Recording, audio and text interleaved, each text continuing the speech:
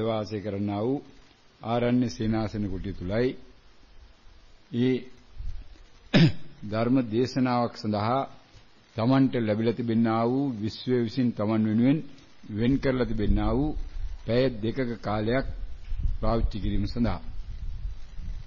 ලෝතුර අමාමෑණී සම්මා සම්බුදු ගෞතම බුදු පියාණන් වහන්සේ විසින් පීඨුවා වදාන ලැබුවා වූ මේ මොහොත වන විට ජීවමාන බවට පවතිනා වූ මේ වර්තමාන සම්බුද්ධ ශාසනය ගෞතම සම්බුද්ධ ශාසනය තවත් අවුරුදු 2394කට ආසන්න කාලයක් පවතින බවට මේ පින්නතුණු තොරතුරු වාර්තා වෙලා තියෙන නිසා ඒ කාලය තුල මගේ සංසාරයේ අවසානයක් නිමාවක් මුළු දුක්ඛන්දරාවේ කෙලවරක් දකින්න මේ භවය තුල තවත් මම අවුරුදු කීයක් ජීවත් වෙයිද දවසක් ජීවත් වෙයිද පැයක් ජීවත් වෙයිද තප්පරයක් ජීවත් වෙයිද තිත්තක්ෂණයක් ජීවත් වෙයිද කියලා දන්නේ නැහැ. හැබැයි ඊට පෙර මේ කාර්ය කුමාරි කෙරෙන්න ඕන කෙරෙන්න නම් මේ මොහොතට අනුගත වෙලා මේ මොහොත තුල සතර හතිපට්ඨානය තුල ජීවත් විය යුතුයි කියන චේතනාව තම තමන්ට නැවත නැවතත් පහළ වීම හරහා ඒ සඳහා කටයුතු කළ යුතුයි කියන තමන්ගේ අභ්‍යන්තරයේ තිබෙනා වූ අති ප්‍රබල බලකිරීම හරහා තමයි මේ අවස්ථාවේදී මේ පිණුතුන් මේ අද දිනය සඳහා තුන්වෙනි අවස්ථාව විදියටත් පෞගිය දින තුනක් තිස්සේ අවස්ථා රාශියක් පසු කළත් දින තුනක් මුළුල්ලේ ඒ තමන්ගේ විශාල හෝ වේවා කුඩා හෝ වේවා ඥාති පරපුර පැත්තකින් තියලා විශාල හෝ වේවා කුඩා හෝ වේවා ඒ ධන දීපල මිල මුදල් රන් රිදී මුතුමැණික් සියල්ල පැත්තකින් තියලා තමන්ගේ කාලය මුළුවනින්ම සංසාරයෙන් ඈතර වීම සඳහා කැප කළා ඒ කැප කරලා දුවා කාලය දැන් වෙනකොට කුසල් අකුසල් බවට පත් වෙමින් නිසා අවසාන වෙමින් යන ඒ අවසානයේ සන්තුලන කරන්නා වූ අවසාන අවස්ථාව විදිහට තමයි මේ පෑ දෙක කාලයක් ලැබිලා තියෙන්නේ. ඒ සඳහා මේ පින්නතුන් මේ ස්ථාන ලැබිලා තින්නේ මේ ස්ථානයේවත් මේ නිවසේ අයිතිකාරත්වය දරන හිමිකාරත්වය දරන ඒ අබේසේකර යුවල සහ දියණියන් දෙදෙනා විසින් Tamanගේ පෞද්ගලික ධන දේපල මේ පින්නතුන්ගේ පරිහරණය සඳහා පරිභෝජනය සඳහා මේ අවස්ථාවේ කැපකලා තියෙන නිසා පූජා කළා තියෙන නිසා. ඒ නිසා තමයි මේ ස්වාමීන් වහන්සේට මේ ස්ථානට වැඩම කරන්න පුළුවන් උනේ වස්සාන ඍතු උනත් ඒ වස්සාන ඍතුවේ ස්වාමීන් වහන්සේ වැඩ වාසය කරලා තිබෙන්නේ වස්වසල තිබෙන්නේ ඒ අග්ගොන්න ප්‍රදේශයේ තනක නිවසක උනත් ඒ ස්ථානයේ ඉඳලා මේ පින්නතුන් ආරාධනා කළා මේ ස්වාමීන් වහන්සේව මේ ස්ථානට වැඩමවගෙන ඇවිල්ලා තියෙන්නේ. වැඩමවගෙන ඇවිල්ලා මෙතන ආරාධනා කළා තියෙන්නේ මෙන්න මේ ආකාරයේ මේ පින්නතුන් රාශියක් මේ ස්ථානයේ ගුණගත වෙනවා දින කිහිපයකට. ඒ අය ආධුනික මට්ටමේ යෝගාවචර පින්නතුන්. ඒ අය සඳහා අනුකම්පාවෙන් ධර්ම දේශනා කරන්න අනුශාසනා කරන්න ඒ අය සමග එයාගේ අත්දැකීම් සාකච්ඡා කරන්න කියලා. අන්න ඒකේ අවසානයේ තමයි මේ මේ ආකාරයට එhmenan මේ අවසානතම ආසන්නතම මූලිකම කරුණ මෙතන වෙලා තියෙන්නේ අබේසකර විවසා දීනියන් දෙදෙනාගේ ඒ කැපකිරීමවත් උන්ගේ දානි. මේ නිවාසයේ මේ ස්වාමින් වහන්සේගේ ඒ විවේකීව ගත කිරීම සඳහා පූජා කරන වගේම తాවකාලික පදනම තුල මේ ස්ථානයේ ආසන්න තිබෙනා තවත් නිවසක් ඒ පින්නතුන් විසින් මේ උපාසිකා පින්නතුන්ගේ සහ මේ මේනින් වහන්සේලාගේ පරිහරණය සඳහා මේ දින කිහිපය තුල ඒ අය විසින් පූජා කළා තියෙනවා. ඒ අරායේ පින්නතුන් සංසාරයෙන් ඈතර වීම සඳහා තමන්ගේ දාන පාරමිතාව තවමත් සම්පූර්ණ කරමින් ඉන්නා වූ තත්ත්වයක් තමයි මේ පින්නතුන් මේ තමන්ගේ පරිහරණය සඳහා පාවිච්චි කරලා තියෙන්නේ. එහෙනම් මේ පින්නතුන්ගේ වකීම බාර අරගෙන තියෙනවා මේ සාංගය දීපල පාවිච්චි කළා. ඒ සාංගය දීපල පාවිච්චි කරන දුර සිව්පස්සේ මේ දින හතරක් තුනක් තිස්සේ පරිහරණය කළා. ඒ සිව්පස්සේ පරිහරණය කරා නම් ඒ සඳහා බුදු පියාණන් වහන්සේ අනුදැන වදාළ දින ආකාරයට ඊයේ මේ පිළිතුරු ධර්ම දේශනාවේදී සිහිපත් කරගත්තා. මේ ප්‍රත්‍ය නිසිත සීලය කියලා එකක් තියෙනවා. එහෙනම් සීල විසුද්ධිය කියලා එකක් තියෙනවා. ඒ සීල විසුද්ධියට අනුගත වෙලා තමයි මේ කාර්යය කරගෙන යා යුත්තේ කියන්නේ. නිසා ඒක මේ දවස් 3ට පමණ සීමා වෙලා හරියන්නේ නැහැ. දවස් 3න් යා ගියා වූ ගිහි ගෙදර ඉන්නා වූ කාලයටත් මේක අදාළ වෙන්න ඕන. මොකද මෙතනින් කාලා ගිහලා නොමිලේ එතන ගිහලා ඉල්ලා හොඳට කන්න හම්බ වෙනවා කාලේ ඉල්ල නැවතවරක් ආවොත් ඊළඟ මාසේ එනකොට එතකොට තමන්ගේ මේ කාර්යස්ත වෙලා නැහැ. එවනම් මීට වඩා වෙනස් ආකාරයක යෝගාවචන පිරිස තමයි ඊළඟ මාසේ මේ ස්ථානට පැමිණිය යුත්තේ. අන්න ඒකටයි මේ බණ අහන්නේ තවර. නේ අවසාන වශයෙන් තවත් බණ පදයක් අහලා යන්න හදන්නේ මොනවද අපි තවත් අපේ අඩුපාඩු තියෙනවා නම් ඒවා හරිගැසගත යුත්තේ ආර්ය මාර්ගයට බැසගන්න තවත් මොනවද කළ යුත්තේ කියලා. ඒකටයි පෑදයක් වෙන වෙලා තියෙන්නේ. මේ පෑදයක තුල මේ පිණුදුන්ට වගේම ප්‍රතිඵල ලැබෙනවා. මේ පිණුදුන්ට වඩා ප්‍රතිඵල ලැබෙනා වූ කණ්ඩායම මේ පිණුදුන් දන්නවා. ඒ දිබ්බසෝතයි දෙවරුන් ලක්ෂ ගාණක් මේ මොහොතේ නැවතවරක් ඒක රාශි වෙනවා. මේ ධර්ම ශ්‍රවණය කරන්න. ඒ පිණුදුන්ට මේ ධර්මයේ ශ්‍රවණය කිරීමට අවස්ථා ලැබිලා තියෙනවා.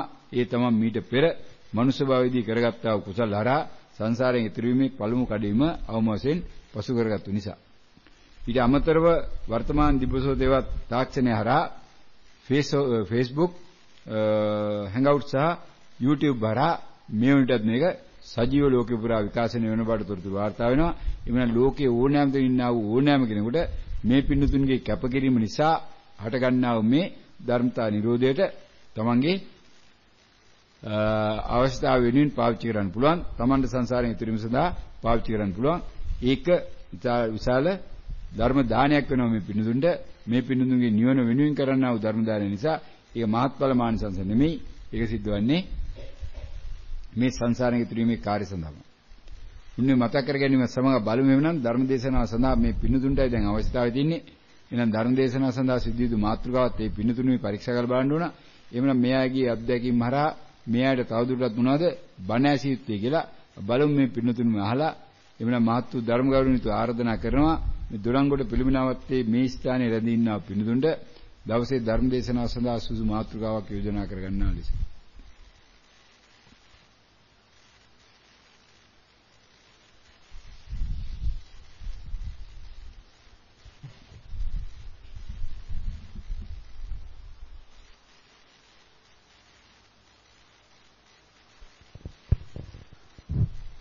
අවසරයි ගෞරවනීය ස්වාමීන් වහන්සේ. මේ අවස්ථාවේදී වහන්සේ හැම විටම අපිට ධර්ම දේශනාවලදී ප්‍රකාශ කරලා තියෙන්නේ මේ ප්‍රකට වීම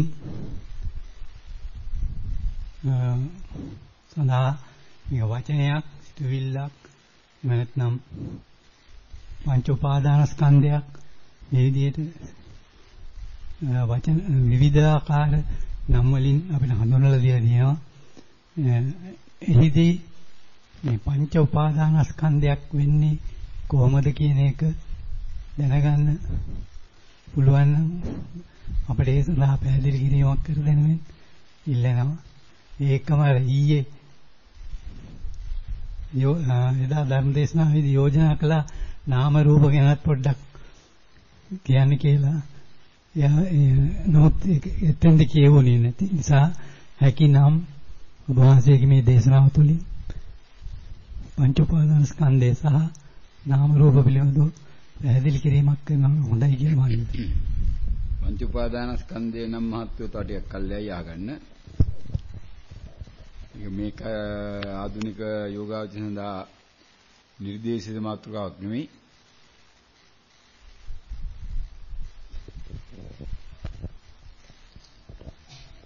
අවසරයි ගෞරවනීය ස්වාමීන් වහන්සේ අපි මේ අපි සියලු දෙනාම ප්‍රයෝජනවත් වෙයි කියලා මට හිතෙනවා සක්කාය දිට්ඨිය පිළිබඳ අපිට කරුණ ටිකක් ධර්මදේශනාවක් කරනමින් ගෞරවයෙන් ආරාධනා කරනවා. පංච උපාදානස්කන්ධය අදාළ නැහැ කොහොම ඒක තව නමක් කියන සක්කාය දිට්ඨිය. සක්කාය දිට්ඨිය කියන්නේ පංච උපාදානස්කන්ධයට. සායි මාතුකාවත් ඒ ආකාරයෙන්ම අදාළ නැති මාතුකාව බවට පත් වෙනවා. පහුගිය ගරු ස්වාමීන් වහන්සේ ඔබ වහන්සේ මේ බොහොම පැහැදිලිවම කියා සිටියා වාර කීපයකම තුන්වෙනි යෝනිසෝ මනසිකාර්ය අපිට දේශනා කරන්න ඕනේ කියලා. මම හිතනවා එය හැකියාවක් තිබෙනවා නම් මේ කාල පරාසය තුල එය ඔබ වහන්සේ අප වෙනුවෙන් අනුකම්පා කළා ඒ දේශනා කරන හැටියට. මේ යෝනිසමනසිකාරය කරන මහත්වෝ මේකේ පොදුවේ ඉන කණ්ඩායමට බෑ සමහර වැඩි පිරිසක් ඉන්න තාම පළවෙනි යෝනිසමනසිකාරය තේරුම් නොගත්තු අය. මේ යෝනිසමනසිකාරය කියන්නේ ගැඹුරු කොටසක්. ඒක දේශනා කර ඒක සුදුසු කොටසක් ඉන්නවා මේක නැත්තේ නෑ. නමුත් ඊ ආයත දේශනා කරොත් අනිත්‍ය අමාරු වෙන එකට. නිසා පොදුවේ තුන්වෙනි යෝනිසමනසිකාරය ධර්ම දේශනාව නිර්දේශ වෙන්නේ නෑ මෙයාට. අවශ්‍ය නම් කොටසකට ඒක කලින් දේශනා වෙච්ච ධර්ම දේශනා තියෙන උන් තරම් තුන්වෙනි යොන්සංස්කාරයේ දැන් තියෙන ඒවායින් අරගෙන ශ්‍රවණය කළා තුන්වෙනි යොන්සංස්කාරය ගියාට කමක් නැහැ. භාවනාවේ මූලික වශයෙන් කමඨහන ඉදිරිපත් කරන්න පුළුවන් වෙච්ච අය ඉන්නයි. අද දවසේ බා කමඨහන් ගත්තොත් එimhe අද දවසේ කමඨහන් ඉදිරිපත් කරපු ඒ උපාසක මහතුරුන් සියලු දෙනාම එක මට්ටමේ නෙමෙයි එක විවිධ මට්ටම් වල ඉන්නේ. නමුත් ඒ අයට ඒ සඳහා යම්කිසි සුසුකම් තියෙනවා සමහර අයට ඒකේ ඉහළ මට්ටමේ සුසුකම් තියෙනවා කරන්න. කලින් දවසෙත් ඒ උපාසක මහත්තුරුන් කමටහන් දුන්න දවසෙත් ඒ උපාසක මහත්තුරුන්ගේ తত্ত্বය ඒ ආකාරයෙන්ම දාන්න පුළුවන්. වාසිකාවන්ගෙන් යම් කොටසක් ඉන්න පුළුවන් නමුත් නම් වශයෙන් විස්තරාත්මකව කියන ස්වාමීන් වහන්සේට ඒ පුළුවන් තොරතුරක් වාර්තා වෙන්නේ නැහැ මෙතන. දෙතුන් දෙනෙක් ඉන්න පුළුවන් වැඩි පිරිසක් හිටියේ නැහැ. අනිත් අය තවම මූලික මට්ටමේ ඉන්නේ. නිසා තුන්වෙනි යොන්සමනසිකාරයක් කරනවා කියලා කියන්නේ තමන්ගේ භාවනාවේ කමඨහන තමන් විසින්ම සුද්ධ කරගන්නවා කියන එක. ඒකයි තුන්වෙනි යොන්සමනසිකාරයේ ආරමුණ. ඒකට ඒ මට්ටමට තමන් දිනු වෙලා තියෙනවා නම් විතරයි ඒක කරන්න පුළුවන්. නැත්තම් වෙන්නේ ඊට වඩා ලොකු අමාරු කරනවා. තමන්ගේ උත්තර පත්‍රයේ තමන් පරීක්ෂා කරන දා තුන්වෙනි යොන්සමනසිකාරය. ඒක කරන්න ඉතින් සෑහෙන ඉහළ මට්ටමට යන්න ඕන. බලමු දෙන්න ඕන කියන බලාපොරොත්තු වෙන කියලා. ගෞරවනීය ස්වාමින් වහන්සේ ඔබ වහන්සේ බොහෝ අවස්ථාවලදී ඔබ වහන්සේගෙන් නිරෝධ වුණා මෙයා ඉන්නේ මහා ලොකු දික්ටිගත වීමක කියලා. ඒ නිසා දික්ටි සූත්‍රය ඇසුරෙන් අපට සුදුසු අයුරින් ධර්ම දේශනයක් කරන්න කියලා මම ආරාධනා කරනවා ඔබ වහන්සේ. දික්ටි සූත්‍රය ඇසුරෙන් නම් කරන්න ඕන දික්ටි කියන්නේ ඉතින් පංච උපාදාන ස්කන්ධයම තමයි.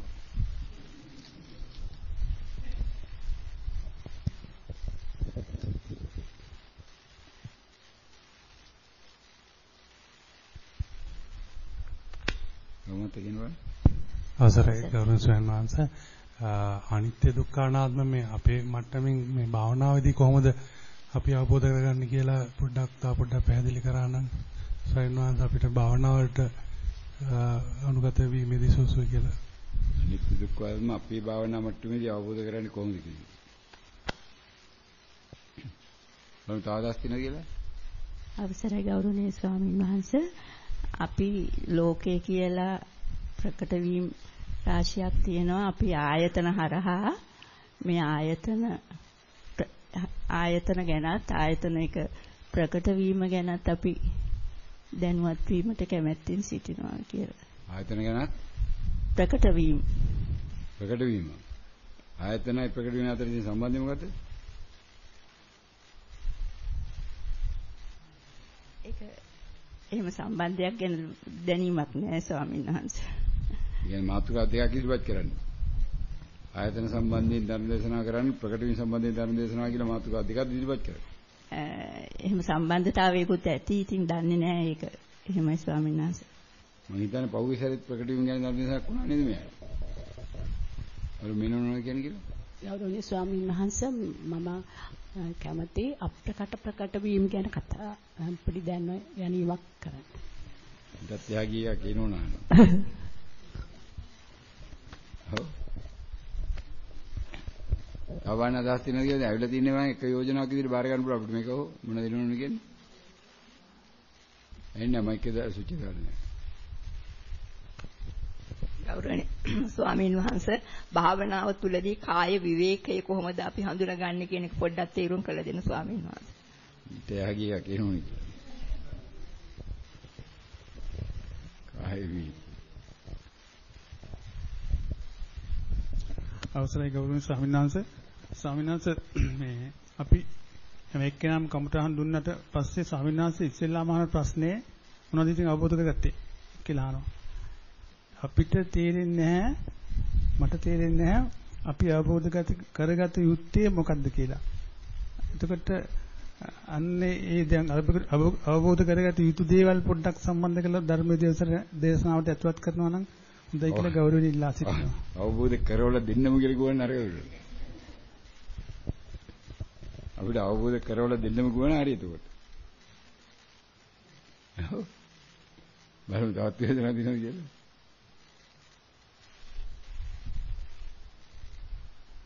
අවබෝධ කරගත්තොත් කියන වාක්‍යය භාවනාවේ Tamanට අවබෝධ වෙන්නේ කියන්න ඕනේ.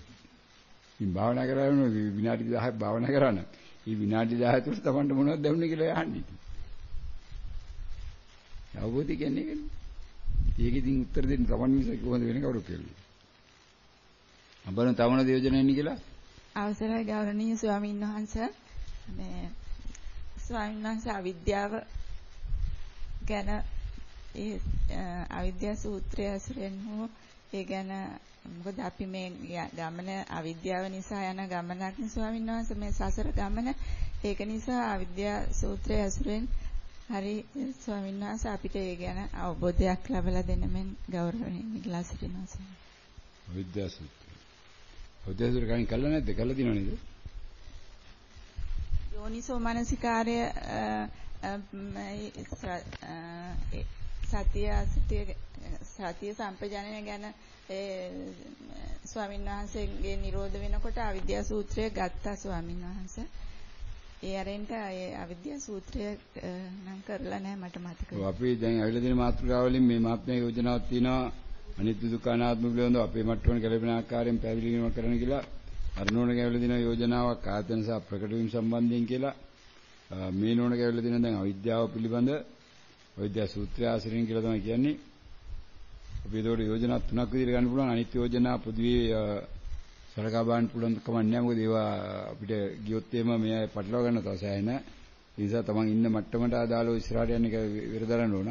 ඕන කෙනෙකුට පටලවා ගන්න අවශ්‍ය නම් බණ තියෙන වුන්තරම් YouTube එකෙත් වෙබ් එකේ දැන් ඒවා වර්ගීකරණය කළා දාලා තින්නේ. වෙබ් එකට ගියා නම් මොන මාතෘකාවක් යටතේ තමන්ට ලයිස්තුගත වෙලා තියෙනවා.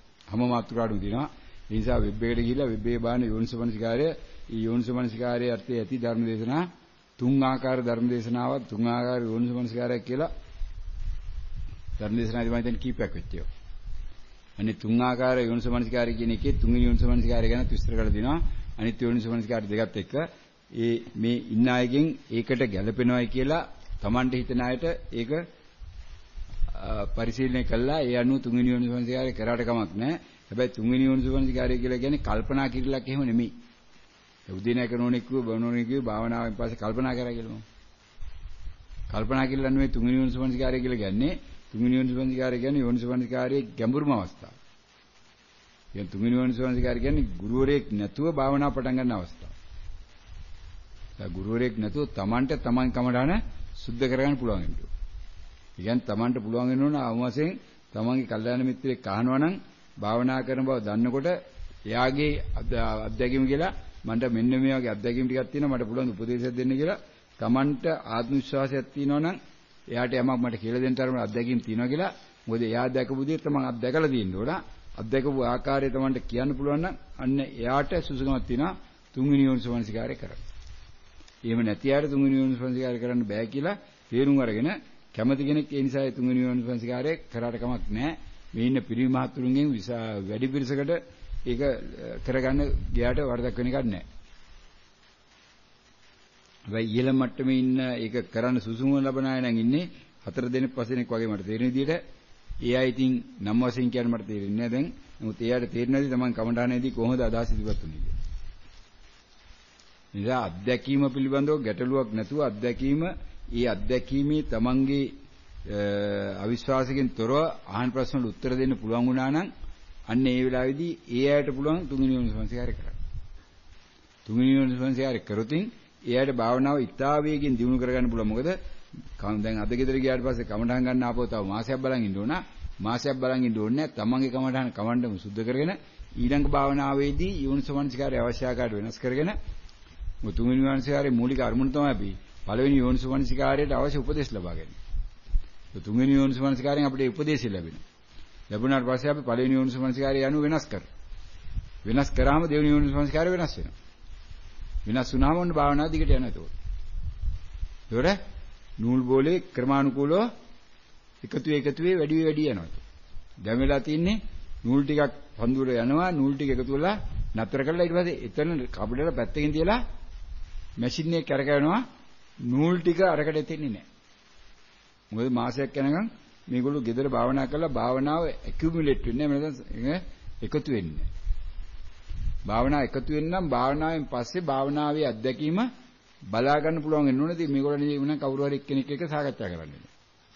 කවුරු හරි කල්යාණ මිත්‍රෙක් හොයාගන්න පුළුවන් දුරගතනේ හරියට සාකච්ඡා කරලා කරන්න පුළුවන්.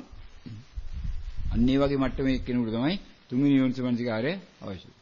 භාවනාවේ ක්‍රමානුකූලව ඉස්සරහට යනකොට භාවනාවේ අත්දැකීම Tamanටම නැවත සමීක්ෂණය කළ බලන්න විමර්ශනය කරලා බලන්න පුළුවන් වෙන්න ඕනේ. ඒකයි.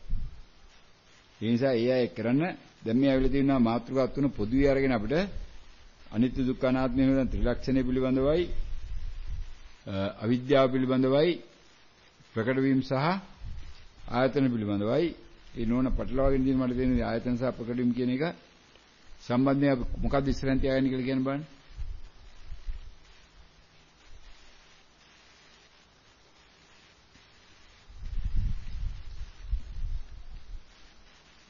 ඔය මාත්‍රිකා තුනෙන් කොයි මාත්‍රිකාවටද ධර්මදේශනා සිද්ධ වෙන්නේ කියලා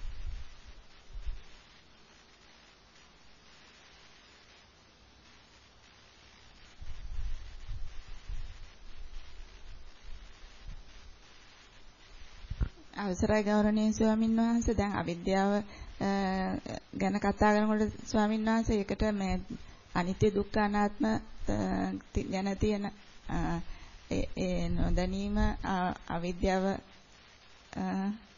කියලා එතන තියනවා කියලා මට හිතෙනවා ස්වාමීන් වහන්සේ. අර්ථය ගන්න පුළුවන් කියලා. ඒත් එක්කම මේ ආයතන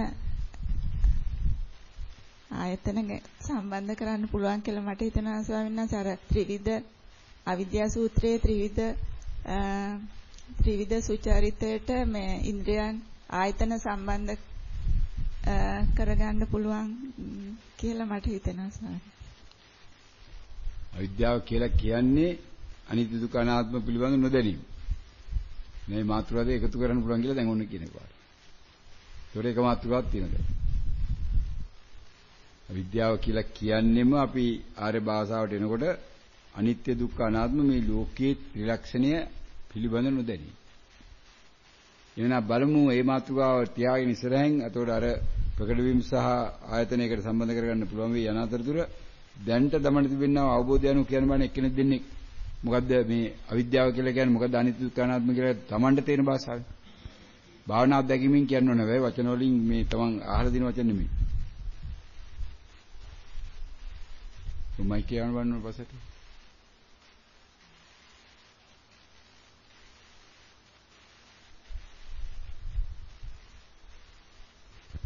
අවසරයි ගෞරවනීය ස්වාමීන් වහන්සේ. අනිත්‍ය දුක්ඛ අනාත්ම ගැන ස්වාමීන් වහන්සේ මේ අද මට භාවනාවේදී ලැබුණු අත්දැකීමක් මම කියන්නම් ස්වාමීන් වහන්සේ. මේ දැන් මේ ශබ්දයක් ප්‍රකට වුණා කියන්නේ ස්වාමීන් වහන්සේ මේ තණ්හාවෙන් පිදුන නාමය.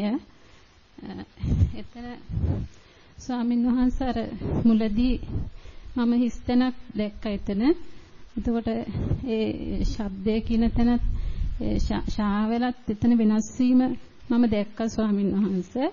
ඊට පස්සේ එතන ඊකට හිස්තැනක් ඒ විදිහට හැමතැනකම හිස්තැන් දැක්කා ස්වාමීන් වහන්සේ. වෙනස් වෙවි යනවා. එතකොට එතන මම අනිත්‍ය දැක්කා ස්වාමීන් වහන්සේ. ඊට පස්සේ එතන අගත් හිස්තැනක් ස්වාමීන් වහන්සේ. එතකොට අන්තිමට මුකුත් නැහැ ස්වාමීන් වහන්සේ. එතකොට එතන අපි ශූන්‍යත නැහැ මුකුත් එතන අපි හිස්තැනක් එතන නාමයක් නැහැ ස්වාමීන් වහන්සේ. එතකොට අපි මේ නැති දෙයක් බලන්නේ. දුක එතන ස්වාමීන් වහන්සේ. එහෙම දැක්කමම එතකොට එකට ආත්මයක් නැහැ ස්වාමීන් වහන්සේ ඒ විදිහට එතන නැති නිසා දුකයි. ඔව් එතන ප්‍රකට එතෙම ප්‍රකට වීම දුකක් ස්වාමීන් වහන්සේ. මේ නැති දෙයක් අපිට අපිට බලන්න වෙලා තියෙන නැති දෙයක්. නෑ බලන්න වෙලා තියෙන නැති දෙයක් දැන් උන් ප්‍රකාශ කරේ නැති වෙච්ච මේ එතන යමක් නැහැ කියලා ඒක නිසා දුකයි කියලා.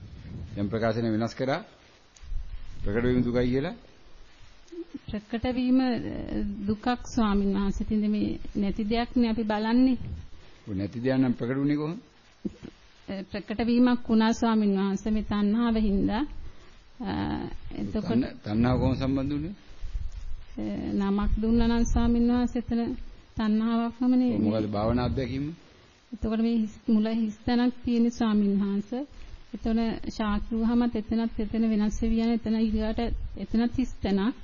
ඔය එකයි මම කියන්නේ ඔය තණ්හාව කියන එක මොකද භාවනා අධ්‍යක්ීම? නමක් දුන්නා නම් ස්වාමීන් වහන්සේ දෙයකට ඉතින් එතන අපි තණ්හාවමනේ ප්‍රකට වෙලා තියෙන ස්වාමීන් වහන්සේ. නමක් දුන්නා තණ්හාව ප්‍රකට වෙලා තියෙන එකට භාවනා අධ්‍යක්ීම මොකක්ද කියන්නේ දැන්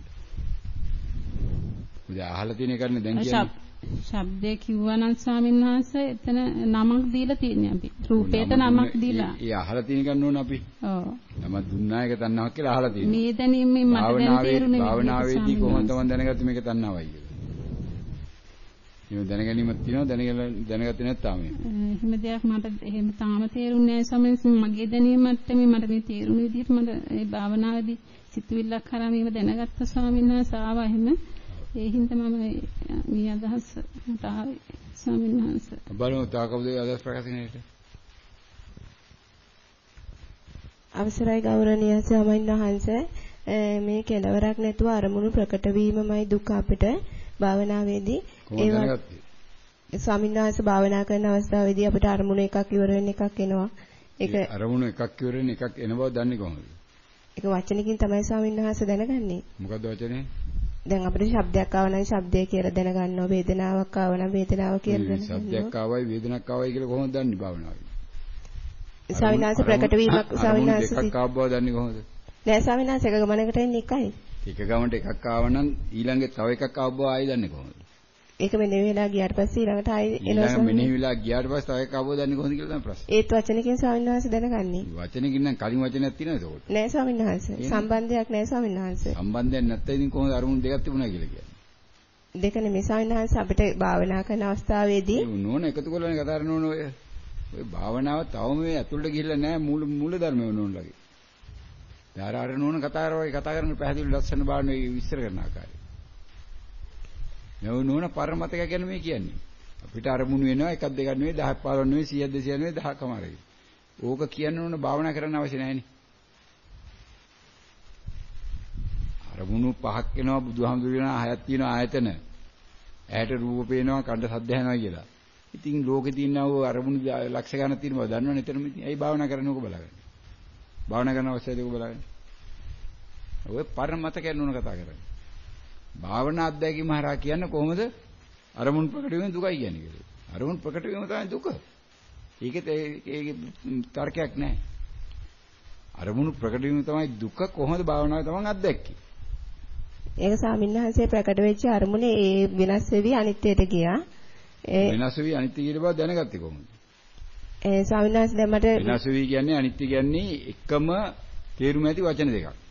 ස්වාමීන් වහන්සේ දැන් මට ශබ්දයක් ප්‍රකට වුණා නම් මුලින්ම ශබ්දය කියලා ඉවර වෙනකොට අල්දායන කියනකොට ශබ්දේ නෑ සාකස නෑ ස්වාමීන් වහන්සේම අකුරෙන් අකුර අකුරෙන් අකුර නිරෝධ වෙනවා ස්වාමීන් වහන්සේ. කොහොමද දැනගත්තේ? ඒ භාවනාවේදී ඒක දැනගත් පුළුවන් ස්වාමීන් වහන්සේ. කොහොමද දැනගත්තේ සායන තිනෝට දැනෙන්නේ නැහැ කියලා? ඒ වචනයක් කරා ඒක දැනගන්නවා ස්වාමීන් වහන්සේ. මොකද්ද වචනේ? ඡායන්න තිනකොට අල් දැනන්නේ අල් බයන නෑ ඒ විදිහට අකුරෙන් අකුර වෙනස් වෙනවා කියලා. ඡායන්න තිනකොට අල් දැනන්නේ නෑ කියන වචනේ තියෙන ලාදී ඊළඟ කොහොමද දැනගත්තේ? වෙනස් වුණා කියලා. ස්වාමීන් වහන්සේ මගේ ඔය ශබ්දය කියලා ඉවර වෙනකොට ඒක අකුරක් නෑ ස්වාමීන් වහන්සේ ඒක අතීතෙට ගියා. ඒ කියලා ඉවර වෙනකොට එක අකුරක් නෑ කියන්න ඕන ආපහු මතකෙන් තොරව නෝන කියන්න බෑන්න.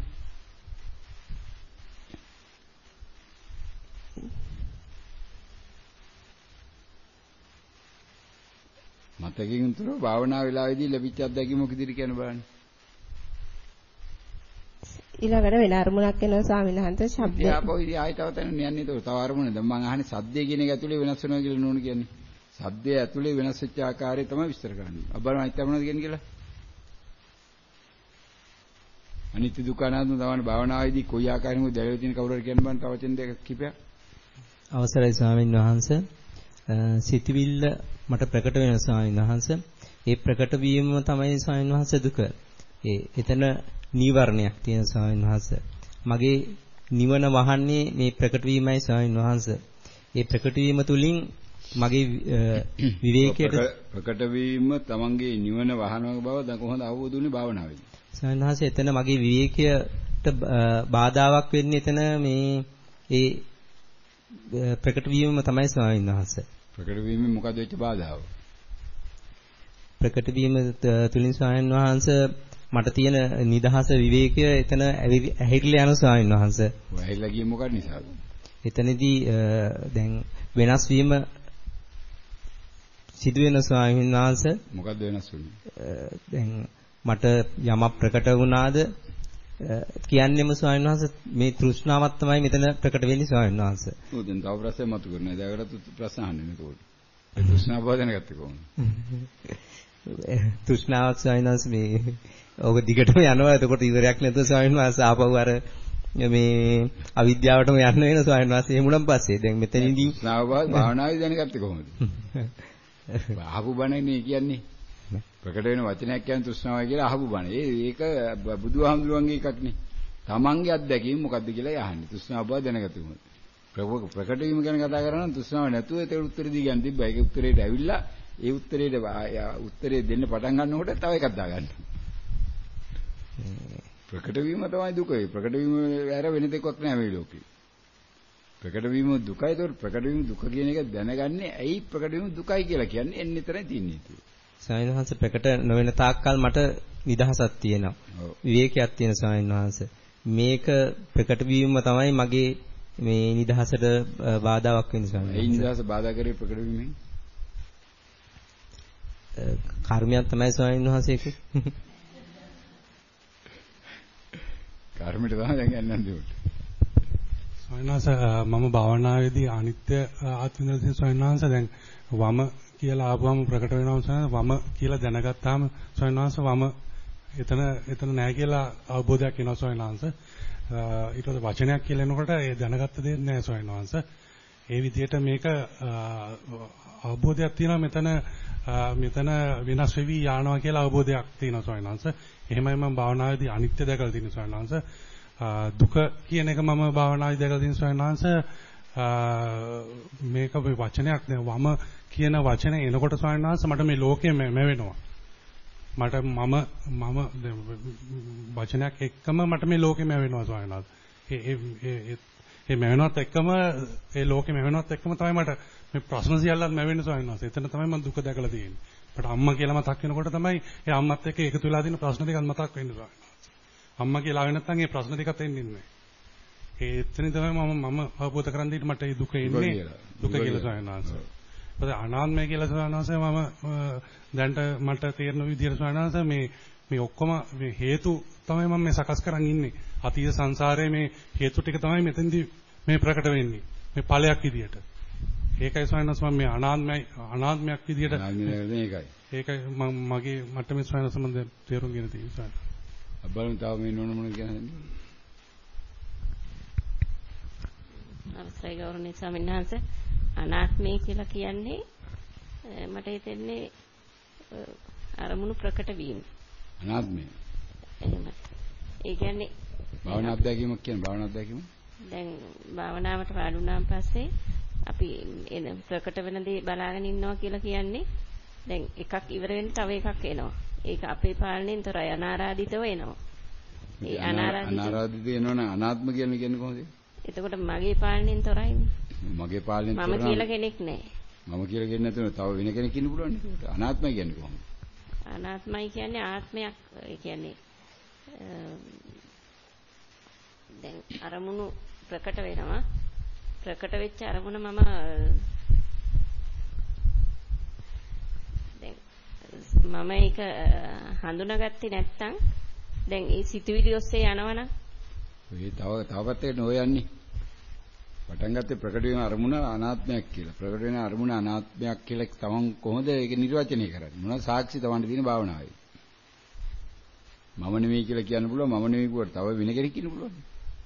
පොඩි විනයක් වෙන්න පුළුවන්. ඒකට අනාත්මය කියන්න බෑනේ. අනාත්මී බව කොහොමද දැනගන්නේ කියලා තමයි දැන් ප්‍රශ්නේ තියෙන්නේ. අනිත්‍ය පිළිබඳ මොන හරි භාවනා අත්දැකීමක් තියෙනවද? එහෙමයි. මොකක්ද තියෙනවද? ඒ කියන්නේ වෙනස් වීම. කොහොමද දැනෙන්නේ? දැන් මොකද්ද වෙනස් වෙන්නේ කොහොමද දැනගත්තේ? දැන් අරමුණක් ප්‍රකට වුණා. එතකොට ඒ ප්‍රකට වෙච්ච අරමුණ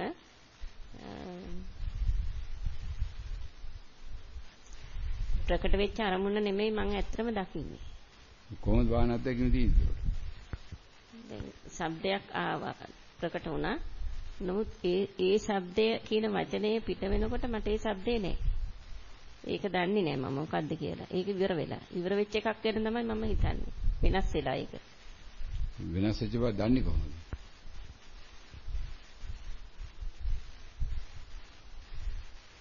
මේ භාවනාව අත්දැකීම කියලා කියන්නේ මේ මොහොතේ දක්ව අත්දැකීම මේ අහන්නේ. අනිත්‍ය මේ මොහොතේ දකින නිසා අනිත්‍ය කල්පනා කරලා ගන්න පුළුවන් එකක් නෙමෙයි. මේ මොහොතේ කොහොමද ඒක තමයි දැනගත්තේ. බලන්න තකවර අදහස් ප්‍රකාශ කරගෙන ඉන්නවද? වෙනෝනේ බලමුද කියන්නේ. අවසරයි ස්වාමීන් වහන්සේ අරමුණු ප්‍රකට වීමම තමයි ස්වාමීන් වහන්සේ අනිත්‍ය. මොකද කොහොමද අනිත්‍ය වෙන්නේ? ස්වාමීන් වහන්සේ දැන් ප්‍රකට වීම අනිත්‍යයි නිට්ටයයි නේද? අරමුණු දිනවනේ ඒ නිට්ටයයි? එකක් දැන් එකම අරමුණ තියෙන්නේ නැහැනේ ස්වාමීන් වහන්සේ. දැන් එකක් ප්‍රකට වෙනවා. දන්නේ කොහොමද කියලා අහන්නේ. ප්‍රකට වෙනවා. එතකොට ඒක මෙනෙහි කළා අයින් වෙනකොට තව එකක් ආයෙ එනවා. දැන් අපි ඒකෝට දැන් එතකොට දැන් ඉතින් අනිත්‍යලා නෑ නිට්ටයයි නේ. එකක් එකක් ගියාම තව එකක් තියෙනවනේ. බස් එකක් ගියාම තව බස් එකක් තියෙන්නේ. දැන් මොකද දුක් වෙන්නේ කොහොමද? නෑ ස්වාමීන් ඕන්තරම් බස් යනවා පාරේ දුක් කොහොමද? එකම අරමුණේ නැහැනේ ස්වාමීන් වහන්සේ. එකම අරමුණේ ඉන්නේ නැත්නම් අරමුණක් එනවනම් ඉතින් මොකද කියන්නේ එතකොට?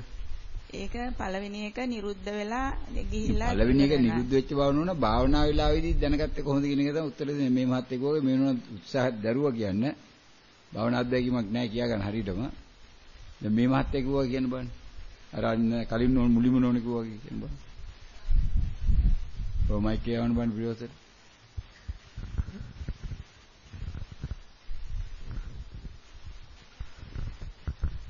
ගරුණී ස්වාමීන් වහන්සේ දැන් අපිට අරමුණක් ප්‍රකට වෙනවා කියන්නේ අපි සතියේ ඉඳලා අසතිමත් වෙනවා කියන එක. ඊට පස්සේ අයිමත් අපි සතියට එනවා ඒක මෙනෙහි කරාම මොකද්ද භාවනා අධ්‍යක්ීම? දැන් වම කියලා ප්‍රකට වුණා නම් එතනදී අපි සතියේ ඉඳලා වම ප්‍රකට වෙච්ච නිසා අසතිමත් වුණා. සතියේ බව දන්නේ කොහොමද?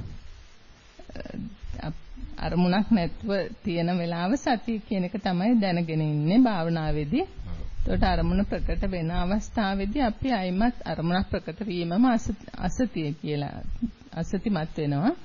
එතකොට ඒ විදිහට අයිමත් අපි සතියත් අසතියත් අතර එහා මෙහා වීමක් තමයි මේ භාවනාවේදී වෙන්නේ අරමුණු ප්‍රකට වෙනකොට. එහෙම ඒක නිසා මේක අනිත්‍යයි. දැන් අරමුණු ඒ විදිහට වෙනස් වීම වෙනස් වීම අනිත්‍යයි. වෙනස් වීම තමයි අනිත්‍ය කියලා කියන්නේ වෙනස් වීම කියන එක තව වචනයක්. වෙනස් වුණා ඒක තමයි අනිත්‍ය කියලා කියන්නේ. වෙනස් වුණා ඒ වචනයක්. සතියෙන් අසතිර ඔක දැන් යූදී කරපු අනුශාසනාව මේ. විද්‍යානුශාසනාව ඔක තමයි කෙල්ලෝ කෙරුණේ අන්තිමට. ඉතින් කෙරුණත් ඒක සීනේ. බලමු දැන් කාලේ විනාඩි 35ක් වුණ කියලා දිනවා. විනාඩි 35 40 පවුන කියලා දිනවා. එතකොට පුංචි වූ අදහසක් ඉදිරිපත් කරන උත්සාහ දරුවේ දෙතුන් දෙනයි. අනිත් අයට එහෙම අදහසක්වත් නැහැ. ඒ නිසා මේ තවම භාවනාවේ මූලික කොටසත් කරලා නැති අය තේරුම් ගන්න දැන් මේව ගැන ආයි ආයි කල්පනා කරගෙන ගියා මේ බණ ඇහෙනකොට තවත් තමන් අමාරු වැටෙනවා. නිසා මේ භාවනාව කරනවා කියලා කියන්නේ මේ භාවනාවට පෙර සූදානම් වෙලා භාවනාවේදී අත්දැකීම් ලබනවා කියන එක නෙමෙයි. භාවනා වෙලාවේදී අත්දැකීම ලැබෙන්න ඕන ඒක භාවනාවට පෙර ලැබෙන එකක් නෙමෙයි. භාවනාව කියලා කියන්නේ අපි මේ බලාගෙන ඉන්න දැන් පැහැදිලි කරලා තියෙන උදාහරණ දෙකක් මේ වීදුරු කවුලෙන් එළි බලන් ඉන්න එළිය යනවා මට පේනවා. එච්චරයි. මමයි ඒගොල්ලෝට සම්බන්ධයක් නැහැ. එහෙම නැත්නම් මේ ගංගුර වාඩි වෙලා ගඟ දිහා බලන් ඉන්නවා ගඟේ වතුර යනවා ගල යනවා මාළු යනවා කිඹුල්ල යනවා දියසුලි තියෙනවා මේ කුණු ගොඩවල් යනවා ලී කැට යනවා අවි මේ අසුචි යනවා ඔක්කොම යනවා මම මට බලපෑම නැතු බලාගෙන ඒ භාවනාව කරපු අයට තමයි අත්දැකීම ගන්න පුළුවන්. ඒ භාවනාවෙන් තොර අනිත් භාවනා කරපු කාටවත් අත්දැකීම ගන්න හම්බෙන්නේ නැහැ කවදාවත්.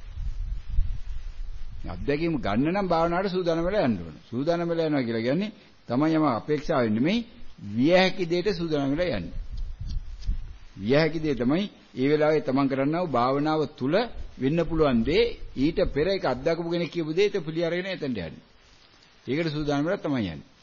ඒකට සූදානම් වෙලා ගියාට පස්සේ ඒ සූදානම් වෙන ක්‍රියාත්මක වෙන්නේ නැත්තම් තමන් ආයතන වැඩේ භාවනා පැත්තේ ඉඳලා ඒකට සූදානම් වෙන එක කරන්නේ. ඉතින් අරමුණු පස්සේ ගියා නම් මම දැන් මෙතනට ආවනම් දැන් ඔන්න අර වැඩි නතර කරලා ආයි යෝනිසමනසිකාරය කරනවා. ආයි භාවනාවට යනවා ආයි භාවනාවේදී ආයි කියන ආයි මේක තමයි හුරු කරන්නේ අපි දැන් දිගින් දිගට. ඒ හුරු කරාට පස්සේ නැවත නැවත භාවනාව විසින්ම භාවනාවයි යෝනිසමනසිකාරය විසින් යෝනිසමනසිකාරයයි ඊළඟට භාවනාව විසින් යෝනිසමනසිකාරයයි යෝනිසමනසිකාරයෙන් භාවනාවයි දෙන්න දෙක පටලවාගෙන ඒ දෙන්න වැඩේ කරගෙන යනවා. අපි පැත්තට වෙලා බලන් ඉන්න එකයි තියෙන්නේ. ඒකයි භාවනාව වෙන්න ඕනේ. ඉතින් ඒකට සැහැන්න තමන් මුලදී ඉවරදරලා මේ භාවනාවම වෙන්න ඉඩ අරින්න ඕන.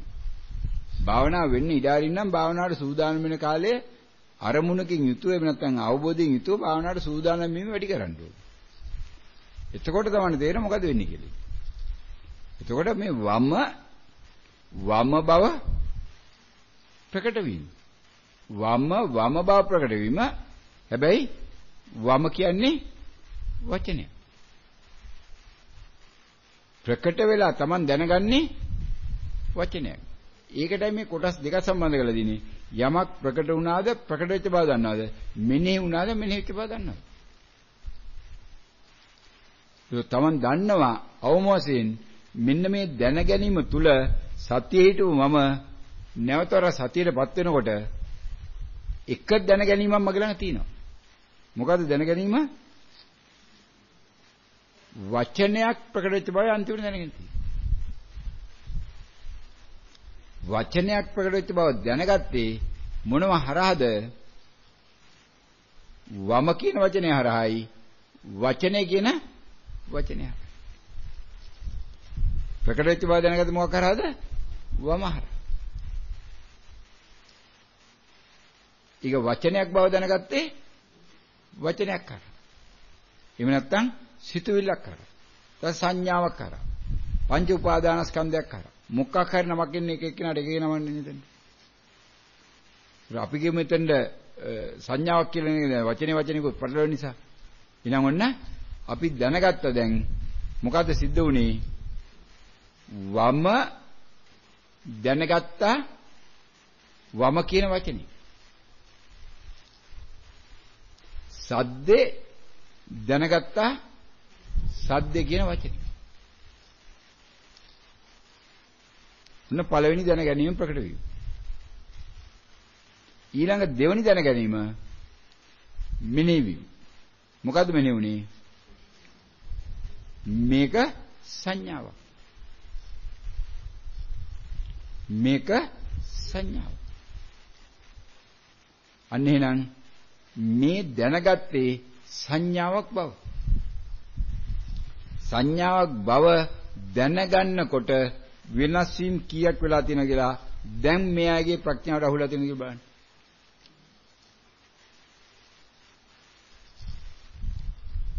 සංඥාව බව දැනගන්නකොට වෙනස් වීම කීයක් වෙලා තියෙනවද දැන් ප්‍රඥාව බලපු එක්කනට. දල වශයෙන් ගණන් හදන්න පුළුවන් ප්‍රමාණය කිව්වොත් දැන් ඇහිලා තියෙන බණ වලට අනුව කිව්වොත් එහෙම ඒ බණ වලට අනුව ඒ වෙලාව අත්දැකීමට ගියා නම් අවම වශයෙන් කීයක් වෙනස් වෙලා තියෙනවද? තුනක් වෙනස් වෙලා තියෙනවා. තුන් නෙමෙයි අපි ඊච්චුව දහස් ගණන් මෙතන තියෙනවා කියලා. ඊ ඔක්කොම පැත්තකින් තියලා අපි දල වශයෙන් කිව්වොත් එහෙම වම කියන වචනය දැන ගැනීම තුළම වම කියන එක නැති වෙලා ඊට පස්සේ එකක් නෙන්නේ. එතන ඉඳලා එතන වෙනස් වීමක් තියෙනවා නේද? දැනගන්න කොටත් වෙනස් වෙලා නේද එතකොට? දැනගන්න කොටත් වෙනස්. හැබැයි වෙනස් වෙච්ච බව දැනගන්න පුළුවන් වුණාද ඒ වෙලාවේදී? බෑ එහෙනම් ඒ බව දැනගත්තේ ඊටත් පස්සේ. එහෙනම් වම බව දැනගන්න කොටත් එහෙනම් වම කියන වචනේ හැදිච්ච බව දැනගන්න බෑ එහෙනම් එච්චරට වෙනස් වෙලයි ඔන්න දැන් දැනගැනීම තියෙන්නේ. ඕක මොකද්ද එතකොට? ඕක තමයි අනිත්‍ය. එහෙනම් දැනගන්න පුළුවන් වන්නේ මේ චිත්තක්ෂණය කොට වුණා නම් හැම වෙලාවෙම දැනගන්නවා කියන්නේ මොකද්ද? දැනීම විඳීම. එහෙනම් මොකද්ද දැනගත්තේ? විඳ දෙයි දැනගත්තා. දැන් අපි ලෝක ගමනන්ත සූත්‍රය කියලා ඊයේ පෙරදා ඉස්සරන් තියාගත්ත මතක් කරගත්ත මෙයාට මොකද්ද ලෝකය කියලා කියන්නේ දැනීමක් විඳීමක්. එහෙනම් දැනුණා දැනිච්ච දේ වින්දා. වින්ද දේ නැවතර මොකද උනේ? දැනගත්. එහෙනම් වම කියන වචනේ වෙනකොට දැනීමකට ගිහිල්ලා දැනගත්තු දේ විඳලා විඳිච්ච බව දැන ගැනීමක් තියෙනවා. ඔන්න භාවනාවේ අත්දැකීම. එහෙමනම් ඒ Taman දැනගන්නකොට එක වචනයක් කරහා එතනම කොච්චරක් වෙනස් වෙලා තියෙනවද? එහෙනම් වම කියන එක දැනගන්නකොට මොනම ආකාරයෙන්වත් තියෙන්න පුළුවන්ද? බෑ. එහෙනම් මොනම ආකාරයෙන්වත් දැනගන්න වෙලාවෙ නොතිබෙන දෙයකින් දැන් Tamanට සැපක් ලැබෙන්න පුළුවන්ද? සැපක් ලැබෙන්න. එහෙනම් මේ දැනගත්තේ මොකද්ද? ප්‍රකට වෙච්ච දේ. එහෙනම් කොතන දුව දෙන්නේ? ප්‍රකට වීමම තමයි දුව. ප්‍රකට නොවුනා නම් එතන දුකක් තියෙන විදියක් නැහැ. ප්‍රකට නොවුනා නම් මොකක්ද තියෙන්නේ? Taman හිටපු විවේකේ. ඒ සතිය. එහෙනම් මේ අරමුණක් කියන්නේ මොකද්ද? අසතිය. එහෙනම් Taman අරමුණක් එනකොට ඉන්නේ කොහෙද? සතිය. සතිය කියලා කියන්නේ තමන් මේ ලෝකෙන් නිදහස් වෙච්ච තැන. ලෝකෙ පිළිබඳ හැඟීමක් නැති තැන. එහෙනම් දැන් මමයා ඉන්නේ කොතනද? සතියේද? අසතියේද? අසතිය. එහෙනම් මමයා හටගත්තේ කොතනද? ප්‍රකට වීමත් එක්ක. එහෙනම් ප්‍රකට වීමත් එක්ක හටගත්තු මමයා ප්‍රකට වීමත් එක්කම මොකද උනේ? නැති වුණා. එහෙනම් එයා ඉන්නේ ඒ අතරතුර තිබෙනා වූ චිත්තක්ෂණ වලට අඩු ගානක්ද වැඩි ගානක්ද අඩු ගාන. එහෙනම් මමයා පවතින වෙලාව තමයි නොපවතින වෙලාවට වඩා අඩු. වැඩි නෙමෙයි. දැන් උතන මමයා නැහැ පටන් ගන්නකොට. මමයා නැහැ ඉවර වෙනකොට. එහෙනම් මමයා ඉන්නේ අතරමැද. හැබැයි අතරමැද මෙයා හිටියද වුණාට නෑ මම දැනගත්තේ ඊටත් මෙහාට ඇවිල්ලා. එහෙනම් ඒ අතරින් යා මාරු වුණා මාරු වුණාට එතන යා ඉන්න බව මම දන්නවද? නෑ. මොකද මම වම කියන එක දැනගන්න පුළුවන් උනේ මේක ප්‍රකට වුණාට පස්සේ. එහෙනම් ඒ දැනගත්තු වෙලාවේදී යා ඉන්නවද? නෑ. එහෙනම් එයා නැති වෙනකොට දැනගත්තා නම් දැනගත්තු බව දැනගන්නකොට ආයි ආයි ඉන්නවද? නැහැ. එහෙනම් එතන ඉඳලා නැවතවරක් දිගින් දිගට මෙයා හිටියේ නැහැ. එහෙනම් මම කියන එක්කෙනා එහෙම නැත්නම් දකුණ කියන එක්කෙනා කොච්චර වෙලාද ඉන්නේ එතකොට? එයා ඉන්න වෙලාව ඒ දෙපැත්තේ තිබෙනා වූ චිත්තක්ෂණ ලක්ෂ ගාණක් අතර තිබෙනා වූ එක චිත්තක්ෂණයක් විතරයි. ඔන්න මම යගේ පැවැත්. අනිත් ඒ දෙපැත්තෙම චිත්තක්ෂණ ලක්ෂ ගාණක් දෙපැත්තේ එයා නැතුවයි පවතී. දැන ගැනීමක් තමයි එතකොට තියෙන්නේ. එහෙනම් දැන ගන්න දේ දැන ගන්නකොට තියෙන ක්‍රමයක් නැහැ. මොකද නූල් ඉන්දිකට්ටර එක නූලක් දානකොට තව නූලක් තියෙන විදියක් නැහැ. ඉන්දිකට්ටේ නූල තියෙනවා නම් තව නූලක් දාන්න බෑ. එහෙනම් නූල දාන්න දාන්න කලින් නූලයෙන් ගැලවිලා තියෙනවා. කලින් නූලයෙන් ගැලවුණා නම් ඒ ගැලවිච්ච වෙලාවේදී එතන දෙකක් නැහැ. එහෙනම් තියෙන්නේ මොකද්ද? එහෙනම් නූල ඇතුල් කරනවා ආපහු ගන්න. ඇතුල් කරනවා ආපහු ගන්න. එහෙනම් වැඩිපුර තියෙන්නේ ඇතුලේද වැඩිපුර තියෙන්නේ එළියේද? වැඩිපුර තියෙන්නේ එළියේ. එහෙනම් නූල ඉදිකට ඇතුළේ දිනා වූ වාර ගන්නට වඩා නූල ඉදිකට ඇතුලේ නැති වෙලාවයි වැඩි. අන්න එච්චරට මේක පුංචි.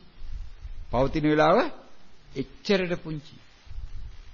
පවතින වෙලාව එච්චරට පුංචි නම් නොපවතින වෙලාව තමයි වැඩි. එහෙනම් දැන් මේක මොකක්ද? දැන් මේක සැපක් හම්බ වෙනවද? දැන් මේක සැපක් නෑ. දැන් තමයි තියෙන්නේ මොකද එහෙනම්? දුක. ඔන්න අනිත්‍ය තුලයි දුක දැකිය යුත්තේ. දුක කියන්නේ ඇඟේ වේදනාවක් නෙමෙයි එතකොට. ඇඟේ වේදනාවට දෙන්නා වූ නමයි දුක. නමක් ආවේ නැත්තම් මොකද වෙන්නේ එතකොට? දැන් අන්න වම ওই විදියට ප්‍රකට වෙලා දකුණ ප්‍රකට වෙලා දැන් භාවනාව ක්‍රමානුකූලව ගිහිල්ලා වම දකුණ දෙක ටිකක් හරි ප්‍රකට වෙන වාර ගන්න අඩු වුණා නම් දැන් අන්න තමයි අවබෝධ වෙනවා තවත් එහාට ගිය ධර්මතාවය.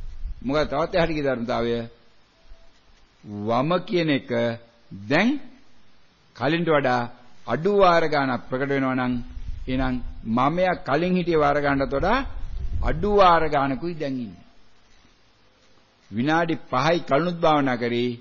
හැබැයි මමයා හිටියා 10 වාරයක්. දැනුත් විනාඩි 5ක් භාවනා කරනවා මමයා ඉන්නේ වාර දෙකයි තුන. දැන් මොකද වෙලා තියෙන්නේ? දුක අඩු වෙලාද වැඩි වෙලාද? දුක අඩු වෙලා. දැන් අන්න විනාඩි 5 තුලම මෙයා ආවේ නැත්තම් මොකද වෙන්නේ? විනාඩි 5 තුලම දුකක් නැහැ. එහෙනම් මොකක්ද තියෙන්නේ? දුක්ඛ නිරෝධය. එහෙනම් තියෙන්නේ මොකද්ද? දුක්ඛ නිරෝධය ඒක තමයි මොකද්ද? නීවන. දුක්ඛ නිරෝධය කියන්නේ නිවනට තවත් නමක්. මොන දුක්ඛ නිරෝධ සත්‍ය. දැන් එහෙනම් නිවන තුල නේද මෙයා ඉන්නේ කියලා දැන් තමයි තේරෙනවා. භාවනා කරන්න පටන් ගන්න වෙලාවේදී තමන් හිටියේ නම් දුක නිරෝධ වෙලා තමයි. දැන් භාවනා කරන්න කියලා වෙලා තියෙන දුක වැඩි වෙනවා. මොකද මේක දැනගෙන හිටියේ නෑනේ. දැන් දන්නවා දුක වැඩි වෙලා කියලා. දැන් මොකද කරන්න ඕනේ? දැන් එහෙනම් දුක අඩු කරගන්න වෙහෙසෙන්න වෙනවා දැන් දැනගන්න ඕනේ. දුක අඩු කරගන්න මොකද කරන් තියෙන වෙහෙස වීම මෙන්න මේ ආකාරයේ ප්‍රකට වීම තියෙන තාක්කල් නම් දුක තියෙන්නේ දුක නැති වෙන්නේ මොකක් වුණොත්ද? මේ ප්‍රකට වීම ටික නැති දැන් ඔන්න එනවා කවුද? අවිද්‍යාව. අවිද්‍යා පත්‍ය සංස්කාර. ප්‍රකට වීමක් කියන්නේ මොකද්ද? සංස්කාරයක්. එහෙනම් ප්‍රකට වෙච්ච වචනෙටම ආස්වාසය මට නෑ නේද කියලා කිව්වනම් මොකද වෙලා තියෙන්නේ? බාරගත්තන වටිනාකමක් දීලා අන්න දුක බාර අරගෙන. එහෙනම් හට ගත්තනම් හටගන්නේ මොකද්ද? දුක්කුයි හටගන්නේ ලෝකේ. ප්‍රකට වුණා නම් ප්‍රකට වෙන්නේ මොකද්ද? දුකක්. හැබැයි ප්‍රකට වෙච්ච දුක Taman දැනගන්නකොටත් මොකද වෙලා තින්නේ? නිරෝධ වෙලයි තියෙන්නේ නම් මේ පෘථග්ජනයා මොකද කරන්නේ මේක බාරගන්න එක. බාරගත්තා නම් දැන් මගේ ආස්වාසය ප්‍රකට වුණේ නැහැ කියලා කියනවා. ඇව්වම ප්‍රකට වුණේ නැති එකයි ප්‍රකට වෙච්ච එක අතර වෙනස මොකද්ද කියලා. ඒකේ වෙනසක් තියෙනවා. ප්‍රකට වුණේ කියන්නේ එකක් ප්‍රකට වුණේ නැහැ කියන්නේ තවත් එකක්. දැන් මොකද ඉල්ලලා තින්නේ? දැන් මේ මහත් ඉල්ලන්න ඕනද? දුකක් ඉල්ලන්නේ. ආස්වාස කියලා දැන් ආපහු. එයි මේ ආස්වාසය ගැන තිබෙනා වූ තෘෂ්ණාව. එහෙනම් මේසෙ උට්ට ගිහිල්ලා නැති බෝංචි ඉල්ලන්නේ බෝංචි මේසෙ උඩින් බල්ලද? නෑ. එහෙනම් බෝංචි කියන බෝඩ් එක ඇල්ලලා දීලාද? නෑ. බෝංචි කන්න ඕනයි කියලා දොස්තර මහත්තයා කිව්ව බෝඩ් එක දීලාද? එහෙනම් ඒ වෙලාවේදී ඇයි බෝංචි ඉල්ලන්නේ? බෝංචි ඉල්ලන්නේ මේ බෝංචි පිළිබඳව මීට පෙර තිබුණා වූ අනන්තවත් තොරතුරු ටිකක් කරා මේ මොහොතේ හදලා දෙන්නා වූ සංස්කාර. ඔය බෝංචි මේසෙ උඩ තිබ්බනම් ඔක අහනවද? නැහැ. බෝංචි මේසෙ උඩ තිබ්බනම් බෝංචි නැද්ද කියලා අහනවද? නැහැ. එහෙනම් ඒ වෙලාවේ නේද මේක හදලා තියෙන්නේ? නැති බෝංචිය බලලා එහෙනම් මේක කලින් හදලා දීච්ච එකද? නෑ නම් මේ මොහොතේ තමයි දැන් මේ ටික හදලා එහෙනම් මේ ඔක්කොම හදන්න උදව්නේ කවුද? ඊයේත් අපි මතක් කරගත්ත අරේනේ කවුද මේ?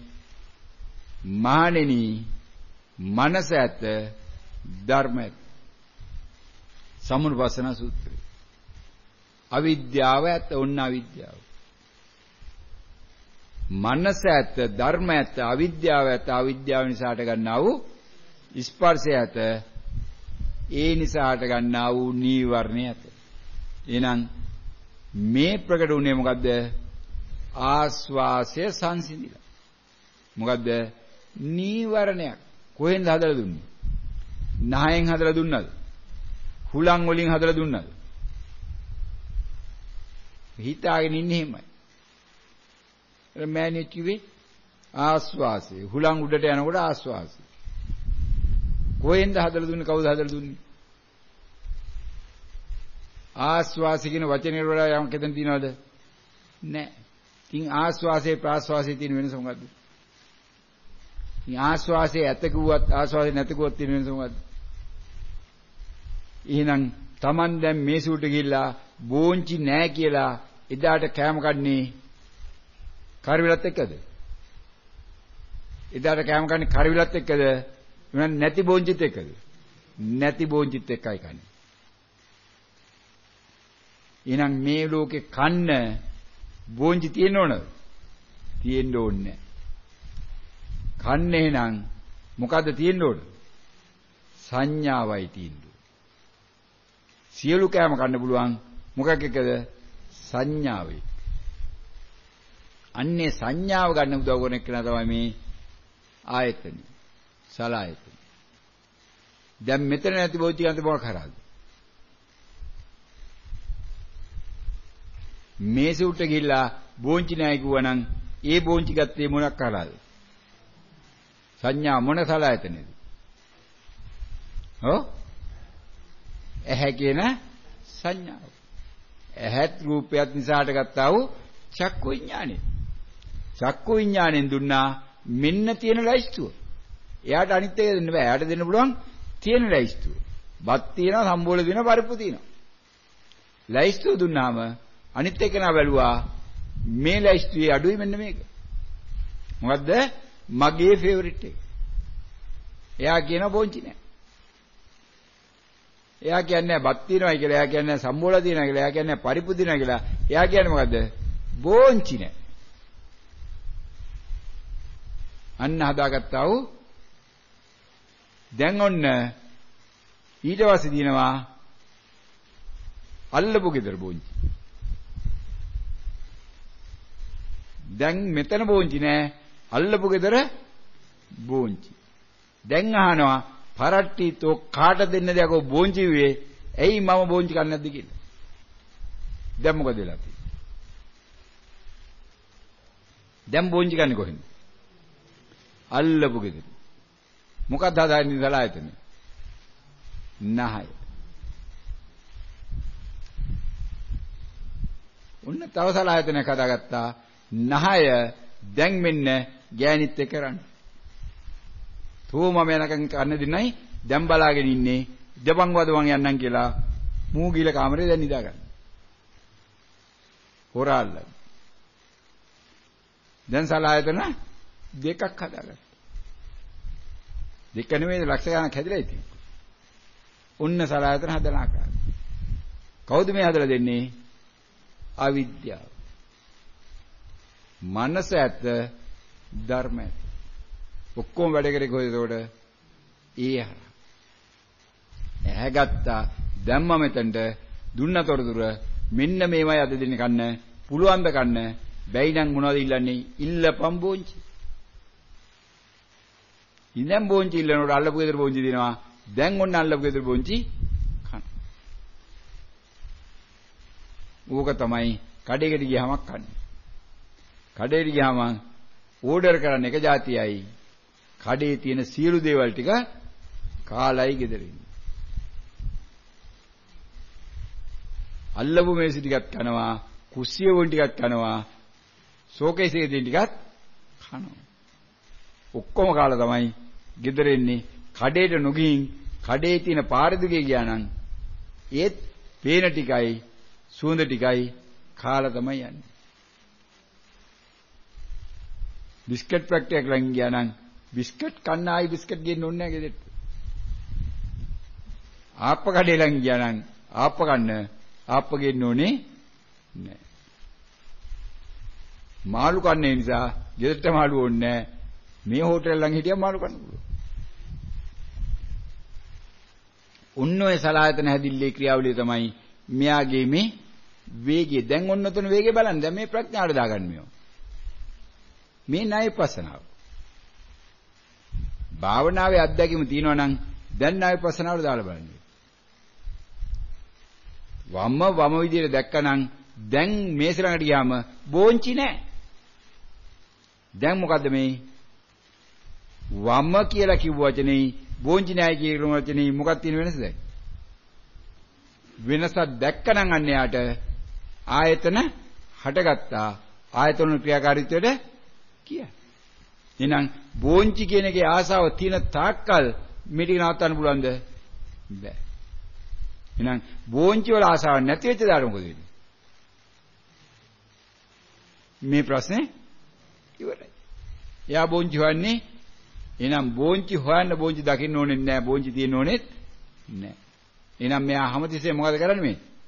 හොයාගෙනයි යන්නේ. එහෙනම් සක්මනේදී මොකද වෙන්නේ එතකොට? සක්මනේදීත් එතකොට භෞතික ක්‍රියාකර්තයේ ඇවිදීමේ සම්බන්ධයද තියෙන්නේ? නෑ නම් මේ මෑනියු කියන වගේ ආස්වාසේ හුලං වල සම්බන්ධයද තියෙන්නේ? නෑ මොකක්ද තියෙන්නේ? ඒ වෙලාවේ යා මොකද්ද හොයාගෙන ගියේ? හොයාගෙන ගිය ආපු එකයි යා ගෙනහලා දෙන්නේ මෙතනට. සද්දේ කිව්වේ මොකද එතකොට? එයා හොයලා ගෙනත් දුන්න එකයි සද්දේ කියලා කිව්වේ. එහෙනම් සද්දේ ආවනම් ඉස්සරහට රූපේ පැත්තකින් තියලා ඒ වෙලාවේ එයාගේ ප්‍රමුඛත්වයේ කාටද? සද්දෙටයි. එහෙනම් එයා තමයි වෙලාවේ ලැයිස්තුවේ පළවෙනි.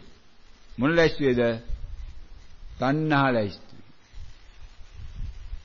එහෙනම් ඒ වෙලාවේ රූපේ තණ්හා ලැයිස්තුවේ දෙවනිය. වම තණ්හා ලැයිස්තුවේ තුන්වෙනි වෙන්න පුළුවන්. හැබැයි පළවෙනිය ආවනම් ලැයිස්තුව ඉස්සරහට දෙවනියට එන්න පුළුවන්ද? බෑ නම් දෙවනිය ඇතරින්ම අහෝසි කැන්සල්. තුන්වෙනියත් කැන්සල්. හතරවෙනියත් කැන්සල්, පස්වෙනියත් කැන්සල් එහෙනම් ආපු කී දිනක් කැන්සල්ද? ලක්ෂ ගාණක් කැන්සල්. එක රූපයක් නෙමෙයි ඉන්නේ ඇයි? එක සද්දයක් නෙමෙයි ඉන්නේ. එහෙනම් ලක්ෂ ගාණක් අයින් කළයි එක්කෙනෙක් ඇතුළට ගන්න. එයා තමයි ප්‍රකට වෙච්ච එක්කෙනා. ඔන්න ප්‍රකට වීම දැන් මෙන්න වෙන උත්තරේ හොයාගන්න පුළුවන් නම් අහන ප්‍රශ්නෙන් දවස් ගානක් තිස්සේ අහනවා අප්‍රකට වීම. ඊළඟ ඒ ලක්ෂ ගාන මොකද වෙලා තියෙන්නේ? අප්‍රකට වෙලා. කැමති වුණත් අකමැති වුණත් ඒ ලක්ෂ ගානම අප්‍රකට වෙලා එලාවි. ඊළඟ එකක් ප්‍රකට වෙනවා කියලා කියන්නේ තණ්හා ලක්ෂ ගානක් අප්‍රකට වෙනවා. ඒක තමයි කෙලෙස් සංසිඳනවා කියලා කියන්නේ. එක කෙලෙසයක් දැන් අහුණු තහුවෙන්නේ එතකොට. නෑ වම ඇල්ලුවා නම් වම පස්සේ එලෝගෙන ආපු අනිත් සියලු දෙනාම අහු වෙලා. එහෙනම් ඒ සියලු දෙනාම අහු වෙලා නම් වම අල්ලගත් වෙලාවේදී එක කෙලෙසයක් නෙමෙයි එක ආශ්‍රයක් නෙමෙයි ෂේ වෙන්නේ ලක්ෂ ගාණක් කෝටි ගාණක් ආශ්‍රයන් ෂේ වෙලා. එහෙනම් නූපන් අකුසල් එකයි කියලා අපි දැක්කට උපදුනා නම් අකුසලය ඒක පස්සේ තව කොච්චරක් උපදිනවද කියලා දැන් අන්න ඒ හරහා බලන්න ඊට පස්සේ. එහෙනම් නතර කරා නම් මොකද වෙන්නේ? අනිත් සියලු දෙනාගේ උපදීම නතර වෙනවා. අන්න උපං අකුසලය, නූපං අකුසලය කොයි ආකාරයෙන්ද මෙතන ගැලපෙන්නේ කියලා බලන්න. එහෙනම් මෙන්න මෙච්චර වේගයෙන් මේ වැඩපිළිවෙලක් ඇතුලේ සකස් කරගෙන මෙයා මෙතනට එන්නේ මෙන්න මේ සරල උදාහරණ බලන්න එතකොට. ඒක නිසයි බුදු පියාණන් වහන්සේ දේශනා කරන්නේ මහණෙනි ආස්වාසයේ දිගනම් දිග බව දැනගන්න. මේක මනින්න කියනව නෙවෙයි මේ. ආස්වාසයේ කෙටිනම් කෙටි බව දැනගන්න. මොකද්ද මේ පණිවිඩය දෙන්නේ? පණිවිඩය දෙන්නේ මේකේ වෙනස් වීම බලන්න කියලා මේ කියන්නේ. වෙනස් වෙන ආකාරය බලන්න කියලායි කියන්නේ. ආස්වාසය අනිත්‍ය කියන වචනේ මෙතන කියන්නේ නැහැ බුදුහාමුදුරේට කියන්නේ ආස්වාසයේ දිග නම් දිග බව දැනගන්න කෙටි නම් කෙටි බව දැනගන්න. ඊළඟට කියන මොකද්ද? ආස්වාසයේ මුළුමනින්ම දැනගන්න. මුළුමනින්ම දැනගන්න මුල බලන්න මැද බලන්න අග බලන්න. මුල බලලා මැද බලලා අග බලනකොට දැන් තේරෙනවා මොනතරම් වෙනස් වීමක්ද? මුල බලන්න ගිය එක්කෙනාට මැද අග බලන්න බැරි බව තේරෙනවා. මැද බලන්න ගිය එක්කෙනාට මුලයි අගයි දෙකම බලන්න බැරි බව තේරෙනවා. අග බලන්න ගිය එක්කෙනාට මුලයි මැදයි දෙක බලන්න බැරි බව තේරෙනවා. ඒ තරම් වේගෙන් වෙනස් වෙනකොට නම් අන්න තමන් උත්සාහ කරන්න ඕන මේකෙන් අල්ල ගන්න පුළුවන් එක අල්ල ගන්න. අල්ල ගන්න පුළුවන් එක අල්ල ගත්තට පස්සේ ඊළඟට මේක දාන්න ඕන ණයපසනාවට. ණයපසන දාලා මොකද කරන්න ඕන? ඒක තමන් දැන් ණයපසනාවෙන් බලනකොට තමන් තේරෙනවා මුල අහුණා නම් ඊළඟ වෙලාවේ නැත්තම් ඊනම් හටගත්ත දේ දැන් නැති වෙච්ච බවට සහතිකයක් තියෙනවා. එහෙනම් මේක Nirodhayak නෙමෙයි මොකක්ද තියෙන්නේ? හටගත්ත දේ නිරෝධ වෙලායි තියෙන්නේ. නම් අගාවුණ එක්කෙනාට දැනෙනවා ආරම්භයේදී තිබුණේ නැත්තම් අග නම් අහුනේ. එයා දන්නවා නිරෝධයක් නෙමෙයි මේක තියෙන්නේ. මොකක්ද තියෙන්නේ? හටගෙන නිරෝධ වෙච්ච බවයි දන්නේ. ඒකයි කච්චානගත සූත්‍රයේදී බුදු පියාණන් වහන්සේ දේශනා කරන්නේ කච්චානගත මොකද එයා අහන්නේ මොකද ප්‍රශ්නේ ඇවිල්ලා සම්මා දිට්ඨිය ගැන අහන්නේ. සම්නුත්තිනිකායේ කන්ද වර්ගයේ තිබෙන කච්චානගත සූත්‍රය කච්චානගත ඇවිල්ලා කච්චානගත කියන්නේ මහා දිට්ඨිගත භික්ෂුවක්. මේ භික්ෂුවක් මම කච්චානගත කියන්නේ භික්ෂුවක්. අති ප්‍රබල දිට්ඨියක මම ඉන්නේ කවුරුවත් අහම්දුරු කියන බණ පිළිගන්නේ නැහැ බුදුහාමුදුරු කියන පිළිගන්නෙත් නැහැ. දිට්ඨිය තදකමට ඇවිල්ලා මේ ආවහනවා බුදු පියාණන් වහන්සේ සම්මා දිට්ඨිය සම්මා දිට්ඨිය කියලා කියනවා. මොකද්ද සම්මා දිට්ඨිය කියන්නේ? කුමකින් සම්මා දිට්ඨිය වෙයිද? මොකද්ද සම්මා දිට්ඨිය කියන්නේ? කොහොමද සම්මා දිට්ඨිය ගත වෙන්නේ? බුදුහාමුදුරුව කරකවලා අතාරින වගේ දෙනව මේකට. උල්ලුවෙන් අල්ලලා පොලේ ගහන. ආයි නෑ. හුස්ම ගන්න බැරි වෙන්න පොලේ ගහන. පච්චානගොත්ත මේ ලෝකයා ආසික ආසිතත්වයට යනවා නාසිතත්වයට යනවා. ආසිකත්වය කියලා කියන්නේ ආසිත කියලා කියන්නේ ඇති කියන තැනට යනවා. නාස්ති තත්වයට යනවා කියන්නේ නැත්ත කියන තැනට යනවා. ආස්ති තත්වය නාස්ති තත්වය. ඇත්ත කියන නැතගෙන අන්ත දෙකට යනවා මේ පු탁ජනය. අන්ත දෙකට ගිහිල්ලා මේ ලෝකේ ඇත කියලා එකෙක් මේක සදාකාලිකයි කියලා මේ සදාකාලික ලෝකයක් මවගන්න මේ ඉන්න වැඩි පිරිසක් ඔතන තමයි ඉන්නේ අනිත් පිරිස ඉන්න අනිත් පැත්තේ කොහෙද නාස්තිකත්වය මොකද්ද ලෝකේ නැත මේගොල්ලෝ කියන්නේ නිරෝධ වෙච්ච දෙයක් අපි දකින්නේ කියලා නිරෝධය දකින්නේ කියන්නේ මේ භාවනාවේ අත්දැකීම ඇතුළට ගියත් තොරතුරු ඒ කියන්නේ. ඒතකොට මෙයාගේ හේතුඵල සකස් වෙලා තියෙන්නේ මොකක්ද දැකලාද? නිරෝධයක් දැකලා. ඒ ලෝකේ කියන්නේ නැති දෙයක් ඒගලන්ට. උඩින් කුවට මේ කාටවත් තේරෙන්නේ අපි එහෙම හිතන්නේ නැහැ කියලා කියන්නේ. නමුත් අභ්‍යන්තරයේ සකස් වෙලා තියෙන්නේ මොකද්ද? ලෝකේ නැතේ යා නැවත නැවත ඒතකොට අකුසල් වලට පෙළමෙන බය නැතුව. මොකද මරණයෙන් පස්සේ මට උත්පත්තියක් නැහැ. මරණයෙන් පස්සේ මම ඉවර වෙනවා කියලා මෙයා හිතන්නේ. අභ්‍යන්තරයේ තියෙන දේ එළියෙන් දරගන්න බෑ. මොකද දිට්ඨිය තුල යා ඒ දිට්ඨිගත වෙලා ඉන්නේ. ඒකට එයා නැවත නැවත කවුරු මොන සෙල්ලම් කිව්වත් එයා හොරාට හොරාට හරි සතුන් මරන එකයි හොරගම් කරන එකයි කාමීච්ඡාචාරී සිල් දලයා කරෙන් කරන. භාවනාවේදීලා වාඩි වෙලත් ඒකගේ තේවා වෙනවා. ඒක නවත්තන්න බෑ. Taman taman ගැන හොයලා බලන්න. භාවනාවේ මෙතෙන්දි කියන දේ නෙමෙයි එළියදී ආයි සිදුවන්නේ. ඒක තමයි මේ බාහිර අභ්‍යන්තරේ ගැටෙන එක. මොකද භාවනාවේ අත්දැකීම එදිනෙදා වැඩවලට ගිහිල්ලා නැහැ. ඒත් එයා දැකලා තියෙන නැවත නැවත ලෝකේ කියන්නේ නැති දෙයක්. නැති දෙයක් නම් එයා නැති දේ තුල බයක් නැහැ මොකට. ඉන්නකම් කාලා බිල ජොලි ගල්ලා හොඳට හිටියොතින් කවදා හරි මරුණට පස්සේ සියල්ල අවසానයි කියලා හිතේ. මුල දැකපු එක්කෙනා කරනවා දැක එයා කියන මොකද? ලෝකේ තියෙනවා ඒතකොට එයා කියනවා එක්කෝ මට දිවි ලෝක යන්න පුළුවන් දානි දුන්නම සා මම දානි දෙනවා. දිව්‍ය ලෝක ගැන පතපත දාන දෙනවා. නැවත නැවත දිව්‍ය ලෝක ගැන පතපත දාන්නේ මේගොල්ලන්ගේ අපි දිව්‍ය ලෝක පතන්නේ නැහැ කියලා. Taman නෙමෙයි පතන්නේ අර අවිද්‍යාව. මේ සුදු බොන්චි කෙනෙක් දුන්නේ අවිද්‍යාව. ආස්වාසේ නැහැ කියලා කිව්වේ අවිද්‍යාව. මේ හුලරල්ලා ගැන කතා කරේ අවිද්‍යාව. ඊනම් මේ දානි ගැන එයා යන දිවිලෝ ගැන. අනිත් එක්කෙනා කියනවා සතුන් මැරුවොත් අපාය යනවා. මම සතුන් මරන්නේ. මම ඒ නිසා පව් කරන්නේ පව් නොකර නිසා මම පින් කරන්න ඕනෙත් නෑ. ඉතින් මම දැන් ඉන්න තැන මම ඉන්න එතකොට. එයා කියනවා මට ඊළඟ ආත්මෙත් මනුෂ්‍යාත්මයක් හම්බ වෙනවා. මම හොඳ වැඩ කරනවා පින් කරන්න යන්නේ නැහැ පව් කරන්නේ. එහෙම තමයි වැඩි පිසක්. අහලා කතා කරනකොට කියන ඒගොල්ලෝ කතා වලින් කියනවා. අන්න එතකොට මම මෙච්චර මෙච්චර වැඩ කරනවා මම දැන් දොස්තර මහතුරුන් කියන්නේ මම ලෙඩුන්න බෙහෙත් දෙනවා මෙච්චර මෙච්චර හොඳ කරනවා මේක නිසා දිවි ලෝක යනවා මම. ඒගොල්ලෝ කියන්නේ එහෙම. ඔය හැම කෙනෙක්ගෙම උන් ඔය දික්ටිගත ස්වරූප. මේකේ දෙයන්තය පැත්තකින් තියලා බලපම් මේක ඇතිවීම නැති. බුදුආදී කරනවා කච්චානගොත්ත මේකේ ඇතිවීම දැක්ක කෙනාට ලෝකේ නැත කියන දිට්ඨිය කැඩෙනවා. නැත කියලා කියන්න බෑ තියෙන බව දැක්ක කෙනාට. එහෙනම් වම ප්‍රකට වෙන බව එක පාරක් හරියට දැනගත්තා නම් එයාට කියන්න බෑ නැත කියන වචනේ කවදාවත්. ඒකයි බලන්න කියන්නේ ඒකයි දිගටත් බලන්න කියන්නේ ඒකයි කෙටියටත් බලන්න කියන්නේ ඒකයි මුලැමැදාගත් බලන්න කියන්නේ. ඒ ඔක්කොම ඉවර ගන්නුනේ බලන්න සංසිඳීම. සංසිඳීම බලන්න කියලා කියන්නේ මොකක්ද බලන්නේ එතකොට? වමයි බලන්නේ. වම සංසිඳ බලන්න පුළුවන් ද වම නැතුව? එහෙනම් වම සංසිඳුර කියන්නේ මොකක් ගැනද මේ තණ්හාව තියෙන්නේ? වම ගැනයි තණ්හාව තියෙන්නේ.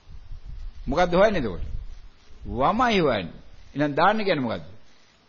තණ්හාව. දාපන් මොකටද තණ්හාව? වමේ දික බලන දාපන් තණ්හාව. මේ කියන බණ ඇතුළට යන්නේ නැහැ කියලා තියෙන්නේ. වමේ දිග බලන තණ්හාව දාගන්න ගියා නම් ඔන්න වම දිගට පේනවා. ඒක තමයි හේතුඵල අවබෝධයෙන් තමයි. වමේ කෙටි බලන්න ඕනයි කියලා තණ්හාව දාගෙන ගියා නම් වම කෙටියටත් පේනවා. වමේ මුලමැද ගන්න ඕන බලන්න ඕනයි කියලා තණ්හාව දාගෙන ගියා නම් මොකද වෙන්නේ? මුලමැදගත් පේනවා. මොනවද මේ ඔක්කොම? වචන. වම දිගයි කියන්නේ මොකද්ද? වචනයක්. වම කෙටි කියන්නේ වචනයක්. මේ මුලයි කියන්නේ වචනයක්. ඒ හරහා නැවත නැවත මොකද කරන්නේ? වචන දාලා දාලා දාලා මෙයා මේ ඉන්නා වූ මතය කඩනවා. ප්‍රකට වෙන්න ප්‍රකට වෙන්න මොකද වෙන්නේ අපි? ඒ හරහා අපේ තිබෙනා වූ මතය කැඩිලා යනවා. ඒතකොට කැඩිලා කැඩිලා ඉවරනාට පස්සේ දැන් ඔන්න තේනවා යකෝ මේ දිගයි කිව්වේ වචනයක් නේ. එතකොට මේක අල්ලගෙන දැන් අන්න දිගයි කිව්වේ වචනය නැති වුණාට පස්සේ වමේ දිග බලන එක නතර වුණා. දිගයි කියන එක වචනයක් බව තේරුම් ගන්න එක මොකද කරන්නේ? වමේ දිග බලනවා. මුලැමැදාක බලනවා. සංසිඳීමත් බලනවා. දැන් බලලා බලලා තේරෙනකෝ වම තියෙද්දිත් කිව්ව වචනයක්, වම නැහැ කිව්වෙත් වචනයක්, වම දිගයි කිව්වෙත් වචනයක්, වම සංසිඳුණා කිව්වෙත් වචනයක්, වම ප්‍රකට වෙන්නේ නැහැ කිව්වෙත් වචනයක්, ඔක්කොම වචනයක් වචනයක්. එහෙනම් මේකත් වචනයක්, මේකත් වචනයක් කියලා කියනම මොකද වෙන්නේ? දැන් අන්න වචනේ තිබෙන වටිනාකම දිය වෙච්ච දැන දැන් දිය වෙලා යන්නේ මොකද්ද? වමයි දිය වෙලා යන්නේ. එකකින් නෙමෙයි මම දිය කරන්නේ ඒකට හැම පැති වලින්ම දිය කරනවා. දිගට දාලා දිය කරනවා, කෙටියට දාලා දිය කරනවා, මුල බල්ලක් දිය කරනවා, අග බල්ලක් දිග කරනවා, දිය කරනවා. අන්තිමට නැති උනායි කියලා දිය කළා දානවා. අන්න එහෙම දිය වෙච්ච දාට ආයි සංසාරයට වමක් Tamanට නැහැ. එදාට සංසාරේ වම ඉවරයි. එහෙනම් දකුණට වෙන්නේ මොකද්ද? ඕක. සද්දට වෙන්නේ මොකද්ද? ඕක. එහෙනම් දැන් අන්න Tamanට තේරෙනවා පැහැදිලිවම මෙන්න මේ මට්ටමේදී දැන් මේක අල්ලගත්තා නම් Tamanගේ විදර්ශනාවට ඒ විදර්ශනාව හරහා මෙන්න මේ මම දැන් ප්‍රකට වෙන වාර ගන්න ක්‍රමානුකූලව අඩු වෙනකොට පළවෙනි ප්‍රකට වීමේදී මේක තේරුණා නම් මේ ප්‍රකට වෙලා ඉන්න විනාඩි 10 තුල මොන්න තරම් කරදරයකදී මමද දැන් වෙනකොට මේ කරදරේ මම නිදහස් වුණානේ. එහෙනම් අවිද්‍යයේ දමාරු දුන්නේ. මහන්සිය තිබුණේ වේදනාව තිබුණේ කකුල් කැක්කුමුනේ අවිද්‍යයේ. කකුල් කැක්කුම තිබුණා නම් අවිද්‍යයේ කකුල ගැන කතා කරන්න ඕනේ.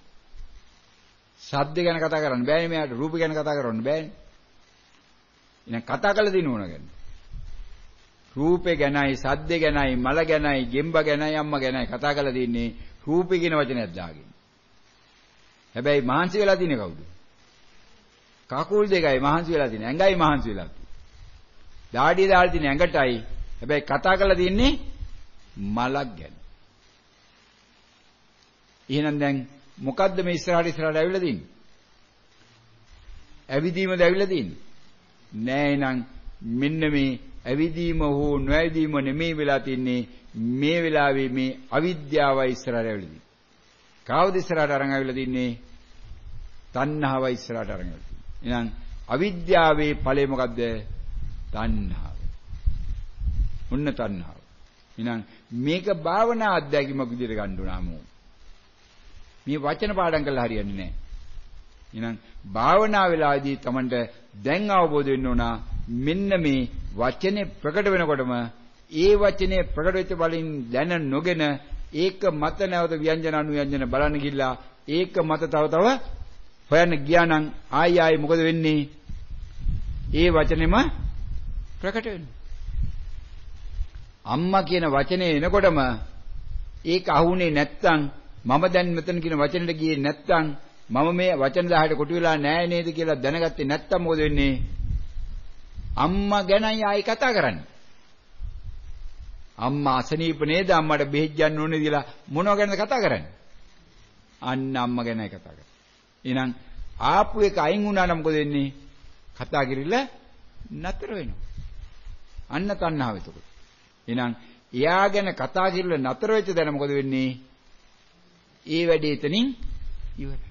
නැවත නැවත එන්නේ අම්මා කියලා ප්‍රකට වෙච්ච වචනය අම්මා අසනීපයි කියලා වචනයත් එක්ක සම්බන්ධයක් තියෙනවද? නැහැ. එහෙනම් අම්මා ප්‍රකට වුණා කියන වචනය තමන් අවබෝධ කර නොගැනීම තුළ අන්න අම්මා නැවතවරක් තමන්ගේ ළඟට එහෙනම් ඒක තමන්ගේ වරදද? නෑ මොකද ඒක හේතුව? තමන්ගේ මේකේ තණ්හාව තවත් තියෙනවා. තණ්හාව තියෙනවා කියන්නේ අවිද්‍යාව තියෙනවා. එහෙනම් මේ අවිද්‍යාව තියෙන තාකල් මොකද වෙන්නේ? අම්මා නැවත නැවත ඉස්සරහට එන එක සිද්ධ වෙනවා. වළක්වන්න මොකද කරන්න ඕන? වළක්වන්න භාවනා කරලා හරියනවද දැන්? දැන් භාවනාව මේ විදිහට දිගටම කරගෙන ගිහලා හරියනවද? අම්මා මතක් කරලා හරියන්නේ නැහැ මේ වෙලාවේ අම්මට හින ගහන්න උත්තර දෙන්න මම භාවනා කරනවා කියලා භාවනා කරලා හරියනවද? නැහැ. මොකද කරන්න ඕන? එහෙනම් අම්මාව ඉස්සරහට එන එක වළක්වන්න වෙන එක්කෙනෙක් ගෙන ගන්න සූදානම් වෙන්න ඕන. සූදානම් වෙන්න මොකද වෙන්න ඕන? භාවනාව නවත්තන්න ඕන. භාවනාව නවත්තලා මොකටද යන්න ඕන? යෝනිසමනස්කාර. අන්න එතකොට අම්මා දෙවනි පාර අම්මා කියලා සිහිපත් වුණා නම් එක පාටම මෙයාට උපදේශයක් දීලා තියෙනවනේ මොකක් කරන්නද? යන්න මම දැන් මෙතනට. එක්කෙනා ගැන දෙවනි පාර කතා කරනවා නම් මොකද කරන්න ඕන? වහාම යන්න මම දැන් මෙතන. අන්න මහගෙදර. අන්න මූල කර්මස්ථානේ. උන්න ඔය මූල කර්මස්ථානේ තමයි බුදුහාමුදුරු දීලා තියෙන නිවන කියන වචනේ. භාවනා ලෝකයේ මේ මූල කර්මස්ථානේ කියලා ආස්වාසයක් අල්ලගෙන හුලන් දැල්ලක් අල්ලගෙන. මුළු භාවනා ලෝකෙම පටලලා දින උන්නතනද. පරිමුඛයේ කියලා හුලන් රැල්ලක් අල්ලගෙන නහය ඉස්සර හුලන් තියනවා. මේ හැමදෙත් ඒ කාලේ කමටහන් ගිහලා දුන්න හුලන් දැක්කයි. හුලන් හිතේ ඉස්සරයි කියලා සිසිලට දැනුණා උණුසුම දැනුණා කියලා පට්ටපල් බොරු ගිහලා කිව්වා ඉතින්. වෙන මොනව කරන්නේ? වෙන මොකක්ව පිළිගන්නේ නැහැ ඉතින් හරියට හරි ඉතින් ඔය පාස්. පළවෙනි දවස් දෙවෙනි දවස් ඉබේ පාස්. අතිවිශ්ව සම්මාන 100න් 100යි. ආයි දෙකක් නෑ. ඉතින් සත්පොජ්ජන් ගැන කිව්ල ගුවමත් 100න් 100යි. දුක්ඛ සත්‍ය ගැන කිව්ල ගුවමත් 100න් 100යි. එහෙම තමයි නිකෝර මොන කරන්නේ? නැති දේවල් බලලා තමයි සාතිකය ගත්තේ මහාන වෙන්නේ. සිවුර දාගන්න එක. සිවුර දාගත්තට පස්සේ නැවතුන ඔක්කොම. ඒක නිසා තේරුම් ගන්න මේ තමාගේ අත්දැකීම තුළ මේ සියල්ල තියෙන්නේ. වෙන කොතනකවත් නැහැ මේකක්ක. තනිකර අත්දැකීම තුල දෙන්නේ අත්දැකීමට බැලුවා නම් අත්දැකීම තුල මේ සියල්ල තියෙනවා අනිත්‍ය දුක්ඛ අනාත්ම තුන අත්දැකීම තුල අවබෝධ වෙන්න ඕනේ. වචන වලින් මේ එකක්වත් අවබෝධ වෙන්නේ නැහැ. මුලදී අපිට වචන හරහා එනවා. ඒ වචන දිය කළා දිය කළා දිය කිරීමෙන් පසු වචන වලින් තොරව අවබෝධය Tamanට තියෙන එතකොට මේක ඒක තමයි ප්‍රත්‍යක්ෂ කියලා කියන්නේ. දා නිවන කියන්නේ ප්‍රත්‍යක්ෂයක්. එහෙනම් නිවන ප්‍රත්‍යක්ෂ වෙන්නේ කොයි වෙලාවේදීද? මම සෝවන් වුණා කියලා වචනාවයි කියලා නෙමෙයි. මම නිවන් දැක්කයි කියලා වචනාවයි කියලා නෙමෙයි. නිවන ප්‍රත්‍යක්ෂ වෙන්නේ කොයි වෙලාවේද? ප්‍රකට වීම නතර වෙච්ච වෙලාවේ.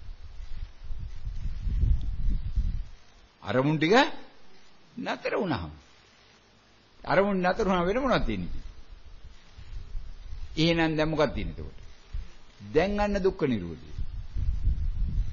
දැන් දුක්ඛ නිරෝධය එහෙනම් දැන් දන්නවා අරමුණු ආපු එක නම් දුක අරමුණු නතර වීම නිරෝධේ නම් එහෙනම් දැන් අරමුණු නැති වෙච්ච තමයි මේකට හේතුව තිබුණේ.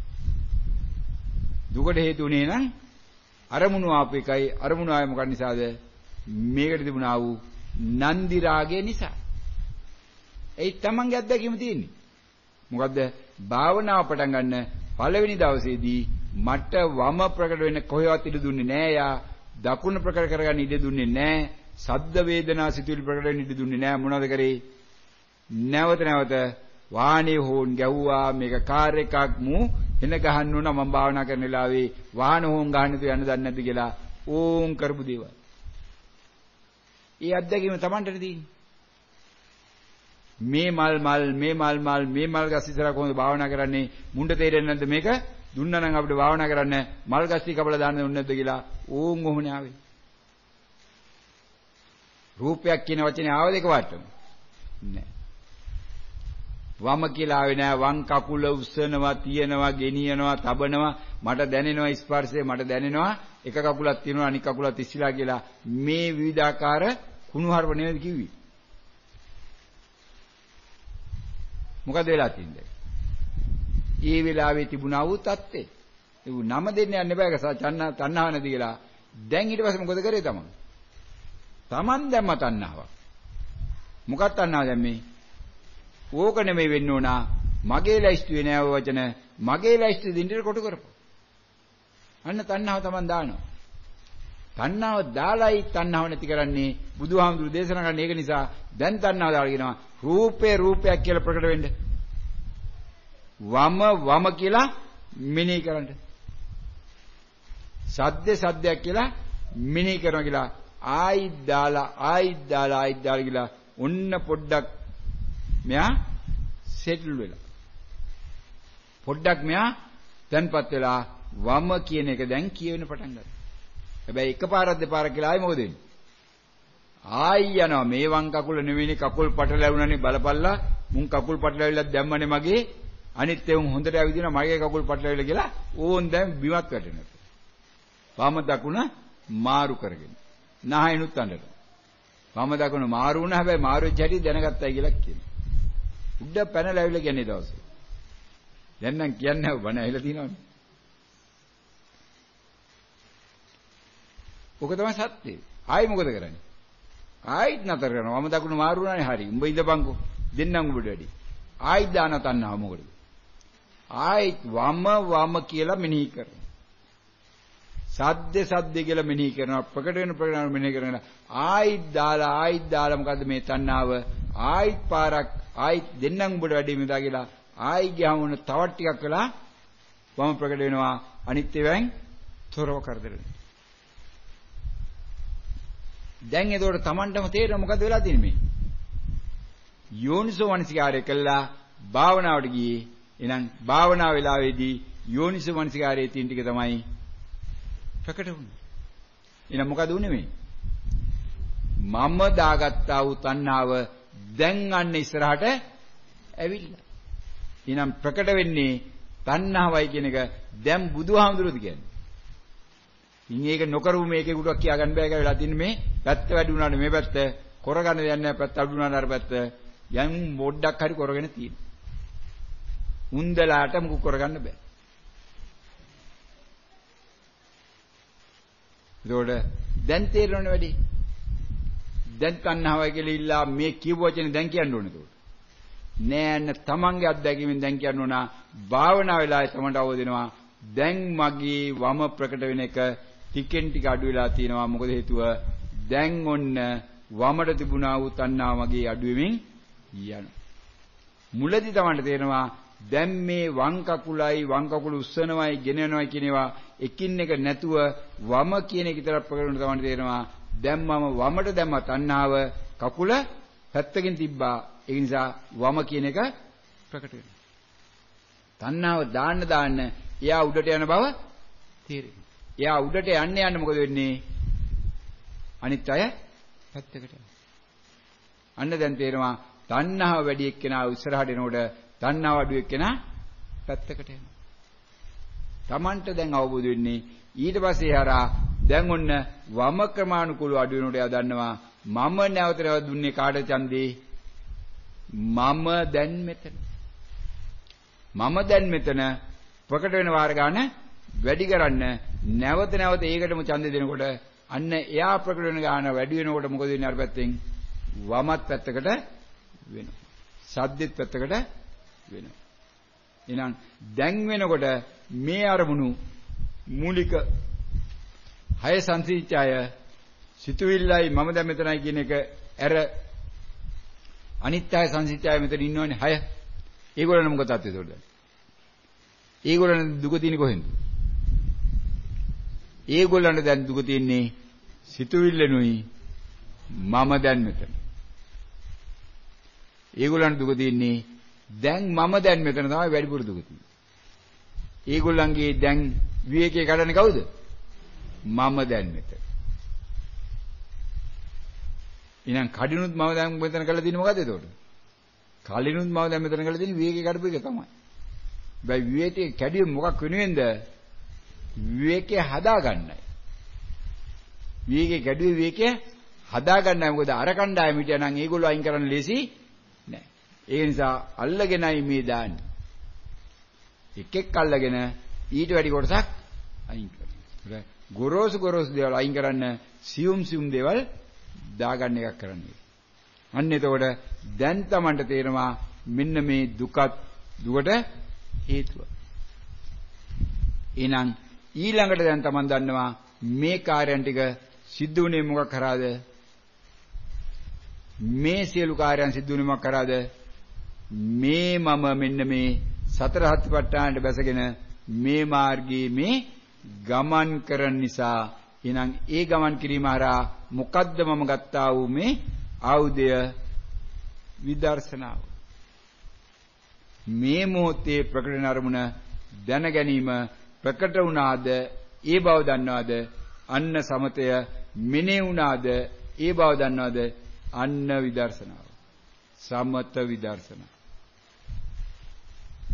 ප්‍රකට වුණාද ඒ බව දන්නවද?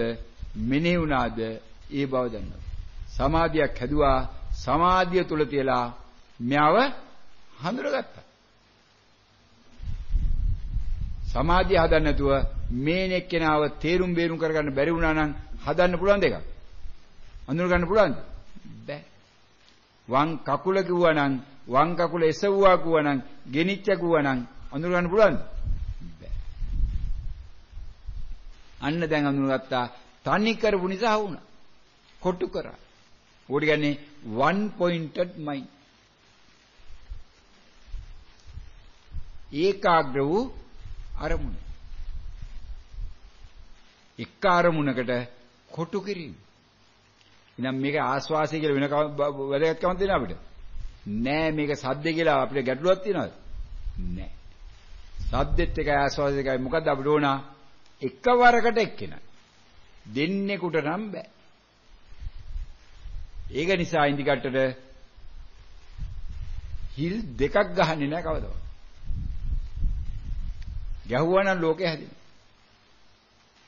මොකද හැමතිස්සෙම එකක එකක් තියදී අනිත් එක අයින් කරලා දාන්න පුළුවන්.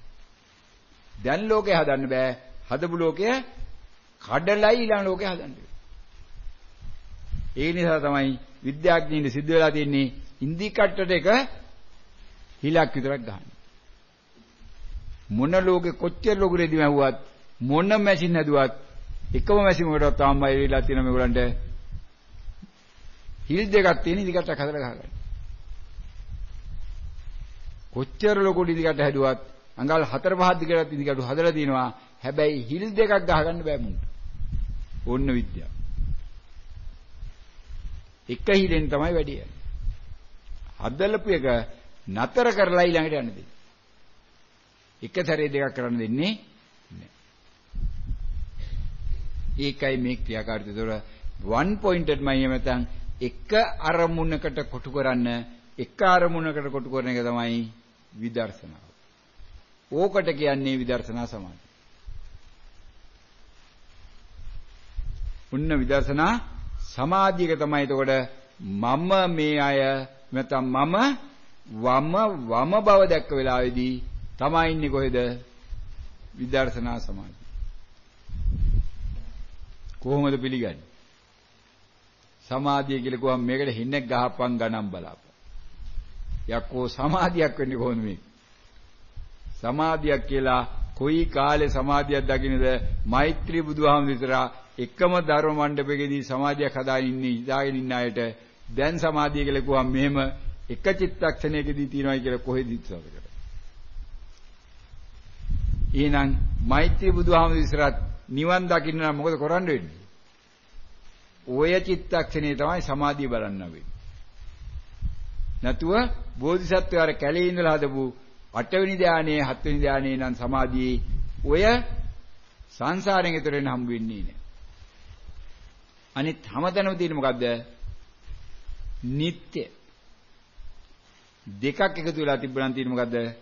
නিত্য. එක චිත්තක්ෂණයක ගැරිත්තන් තියෙන්නේ අනිත්. අන්න අනිත්‍ය අවබෝධයෙන් තමයි.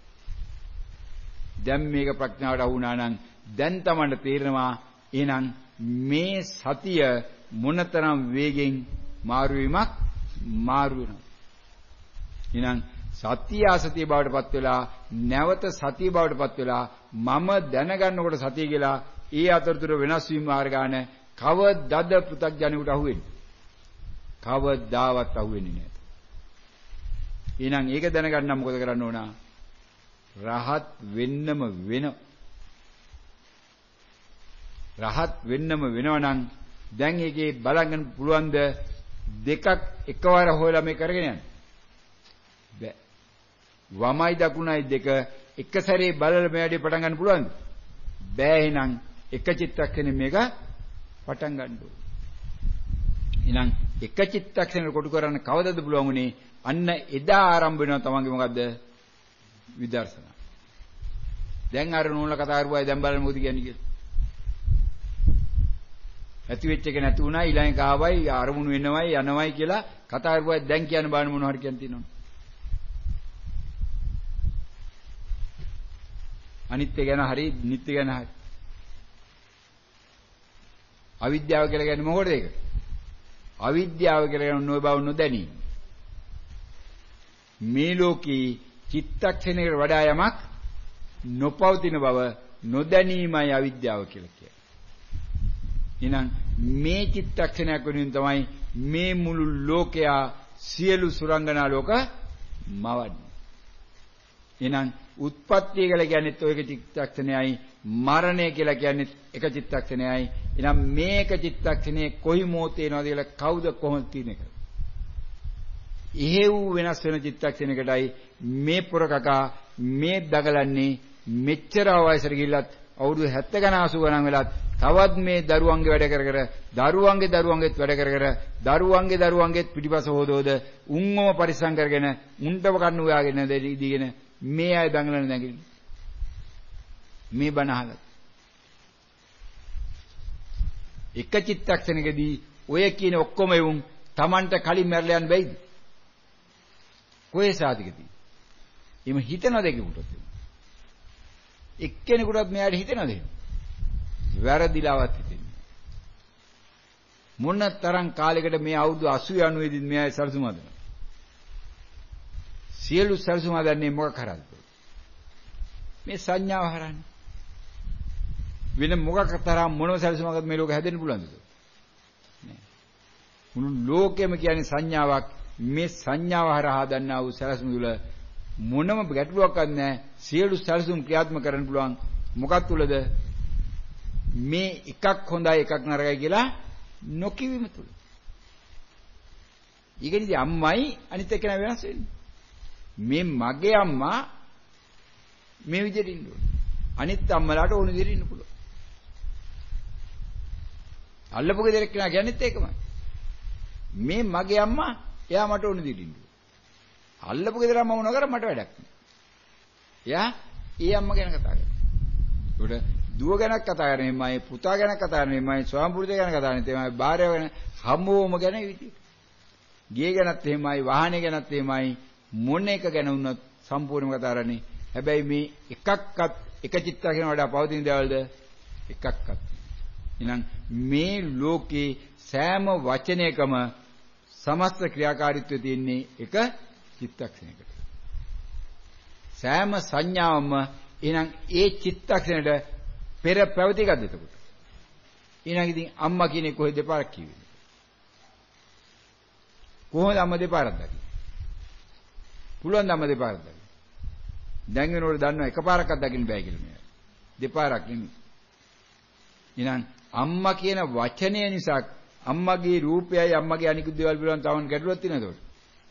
නෑ. ගැටලුව තියෙන මොකක්ද සම්බන්ධෙන්ද? වචනේ සම්බන්ධයි. වචනේ සංසිඳාට අම්මා හිටියා කියලා තමයි ගැටලුවක් තියෙනවද? මොනම ගැටලුවක් අම්මට ඉන්න පුළුවන් Tamanට ඕන ආකාරයට Taman ගමන යන්න පුළුවන්. මොකද අම්මගෙන් මට බාධාකුත් නෑ මගෙන් අම්මට බාධාකුත් නෑ එදාට. එහෙනම් ඒක අයින් වෙන්න නම් අම්මව අයින් කරන්න වෙරදලා හරියන්නේ නෑ මෙයා මොකද කරන්න ඕන? අම්මව ආරක්ෂා කරන වෙරදවින්න එක වෙනුවට තමන්ගේ ආරක්ෂාව වෙනුවෙන් වෙරදරන්න ඕන. තමන්ගේ ආරක්ෂාව මොකද්ද? නිවන. නිවන වෙනුවෙන් වෙර දැරුවා නම් අනිත්‍ය ඔක්කොම මොකද වෙන්නේ? නොනිවන වෙනුවෙන් තිබෙනා වූ සියලු වෙර වීරයන් තමන්ගෙන් ඉවත් වෙනවා. මේ ඇයට මේක කොච්චර කිව්වත් ඇතුළට යන්නේ නැහැ මොකද මේ බණ ඇහෙන්න ඒ තරමට තමන්ගේ භාවනාවේ මොනම ආකාරයක වර්ධනයක් සිද්ධ නොවෙච්ච පිරිස තමයි මෙතන ඉන්නේ භාගයට භාගයක් විතර. ඒ බණ ඇහෙන්නේ අනිත්‍යයට පමණයි. ඊ අනිත්‍යයට මුළු බණම ඇහෙන්නේ මුළු බණම ඇහෙන්නේ ඉන්නේ කීප දෙනෙක් විතර. කරන්න දෙයක් නැහැ වුණාට බණ කියවෙන්නේ එයාට විතරයි. ඒ නිසා තේරුම් ගන්න මේ සංසාරයෙන් ඈතර වෙනවා කියන එක ඊටාම සරල එකක්. හැබැයි මේ අයින්නා වූ මේ අති ප්‍රබල දිට්ඨි වලින් බැහැර වෙන්න වෙනවා. දිට්ඨි වලින් බැහැර වෙන්න කියලා කරන්න තියෙන එකමදී මේ බුදුබණේනි කියන්න කරන දේ කරන්න කියන ආකාරයට කරන එකයි කරන්නේ. එතන තමයි ගැටලු දෙන්නේ වෙන කොතනකවත් නෙවෙයි ගැටලු දෙන්නේ. ඒක තමයි මේ අය මේ සංසාර බිය දැකල් නැති ගැටලු. දැන් මේ බණ ඇහෙන ක්‍රමයකලන් තේරෙනවා අපි හිතුවටත් වඩා වේගෙන් නේද මේ වෙනස් වීම තියෙන්නේ කියලා.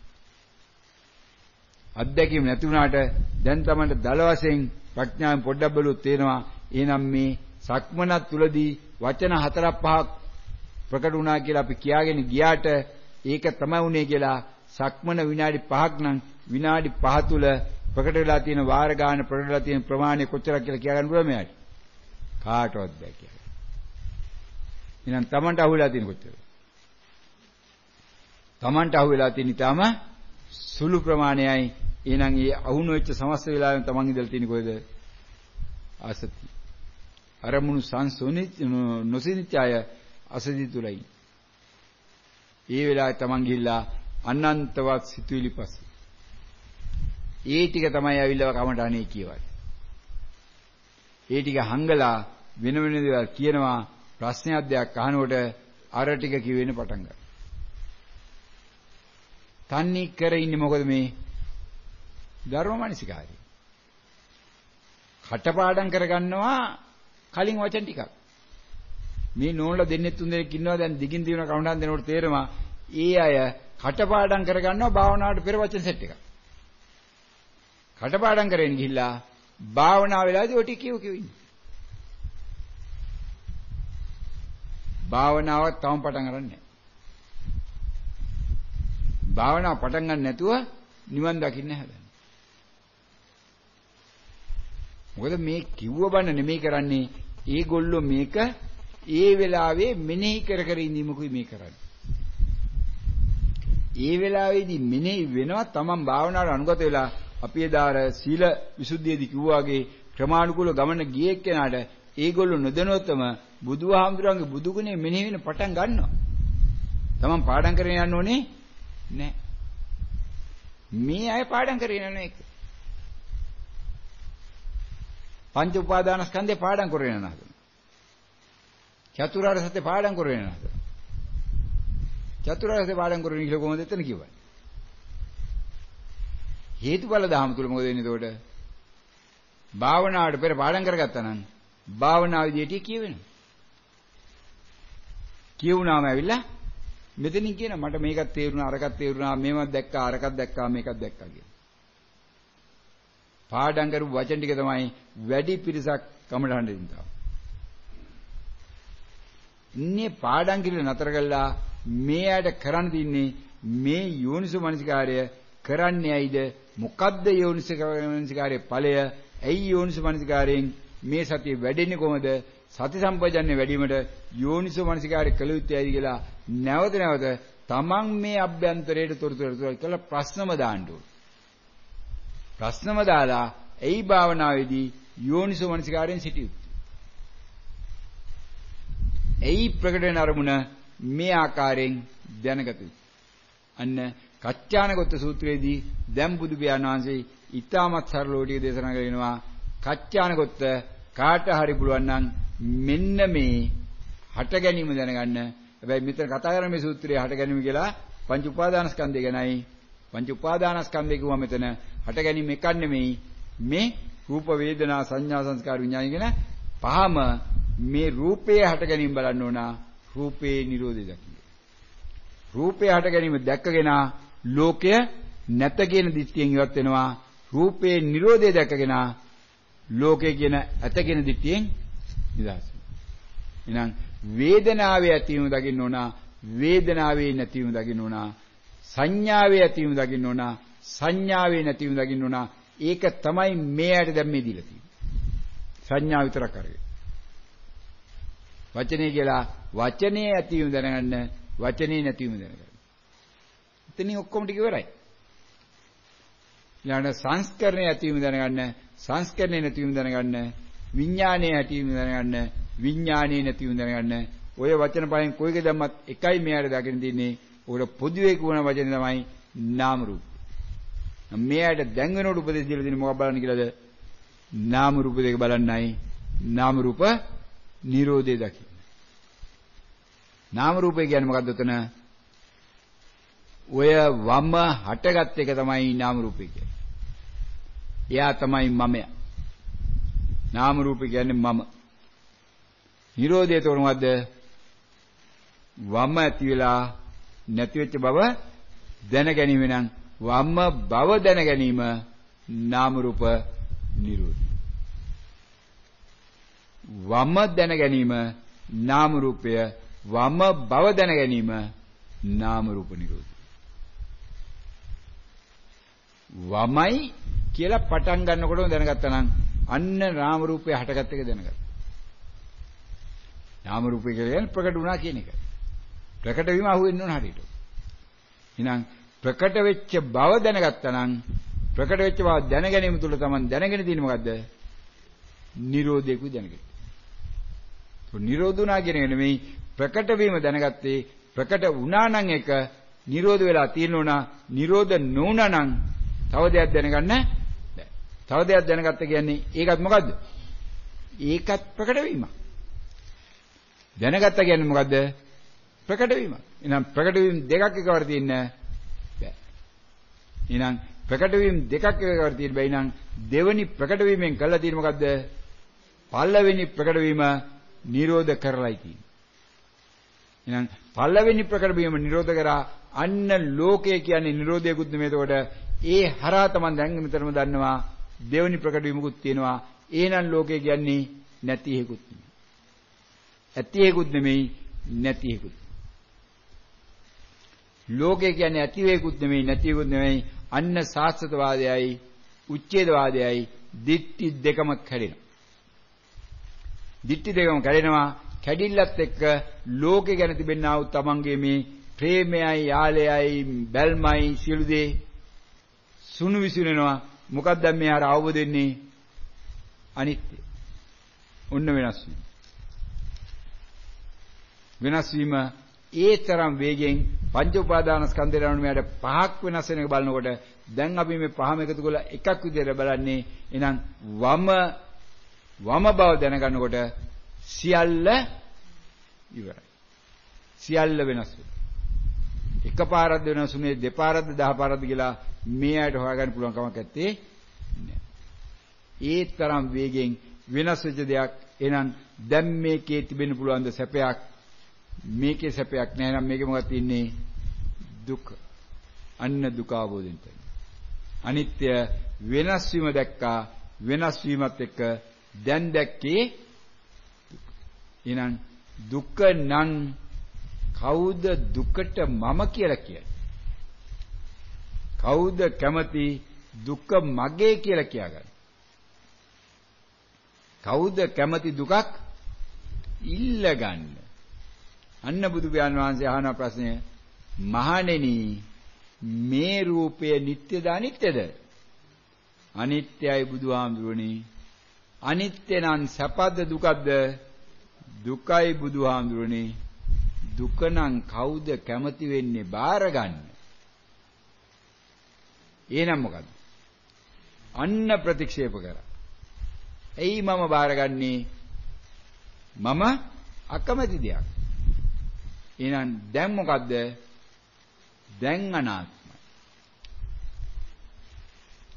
මම බාරගන්නේ නැහැ කියලා කියන්නේ ආත්මයක් නැහැ දැන්. මගේ නෙමෙයි මේක. මම නෙමෙයි මගේ නෙමෙයි මගේ ආත්මය නෙමෙයි.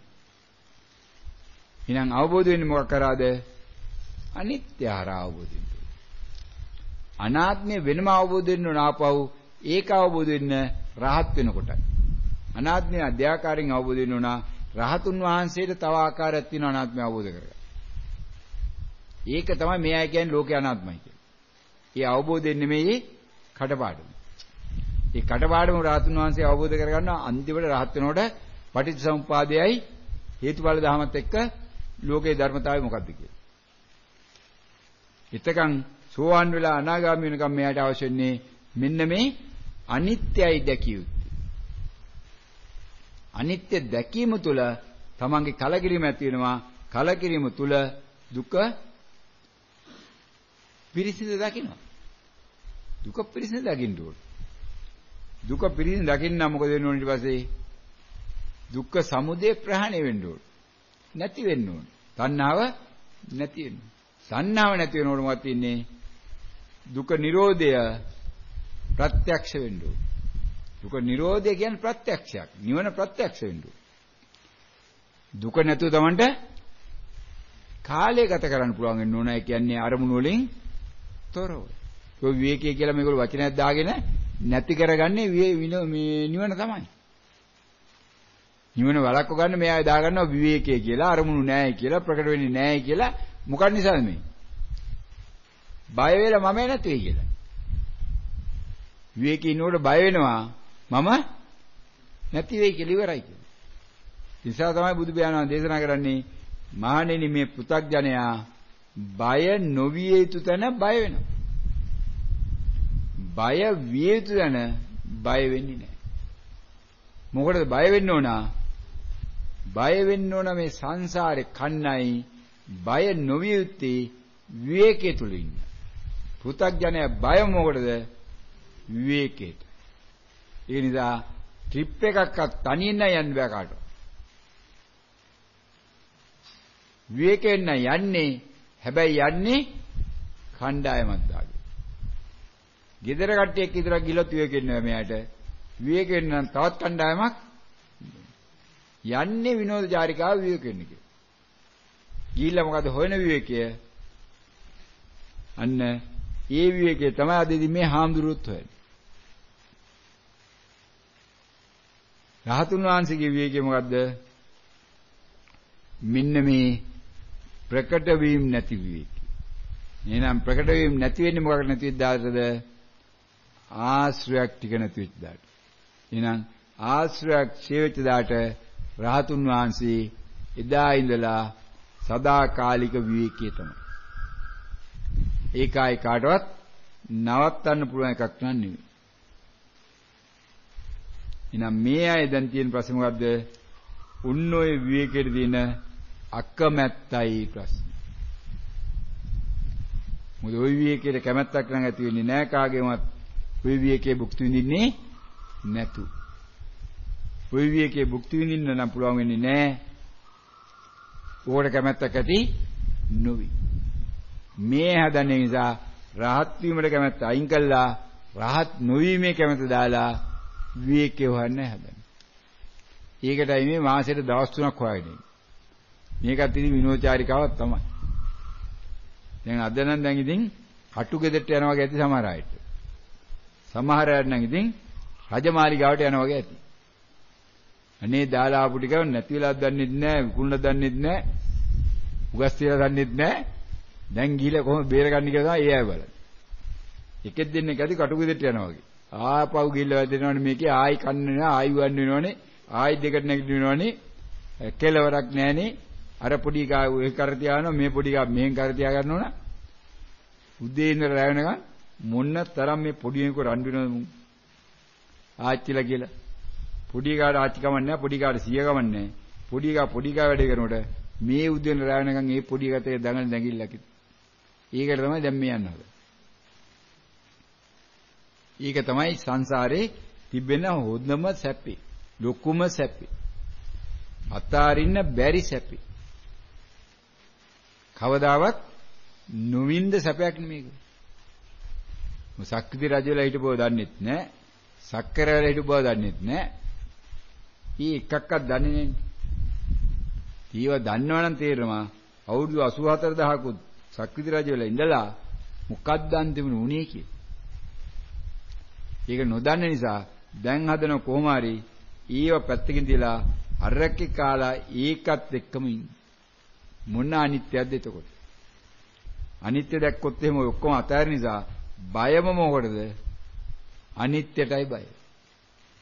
සියල්ලට කැමති අනිත්‍යටයි බය. අනිත්‍යට බය වුණාම අනිවාර්යයෙන්ම දුකටත් බයයි. අනාත්මයටත් ඒක නිසා අල්ලගන්නේ මොකද්ද? ආත්ම ඉතින් මම මගේ මගේ ආත්මය. මම මගේ ආත්මය කියන්නේ ආ වූ මෙන්න මේ දිට්ඨිය. මිච්ඡා දිට්ඨිය.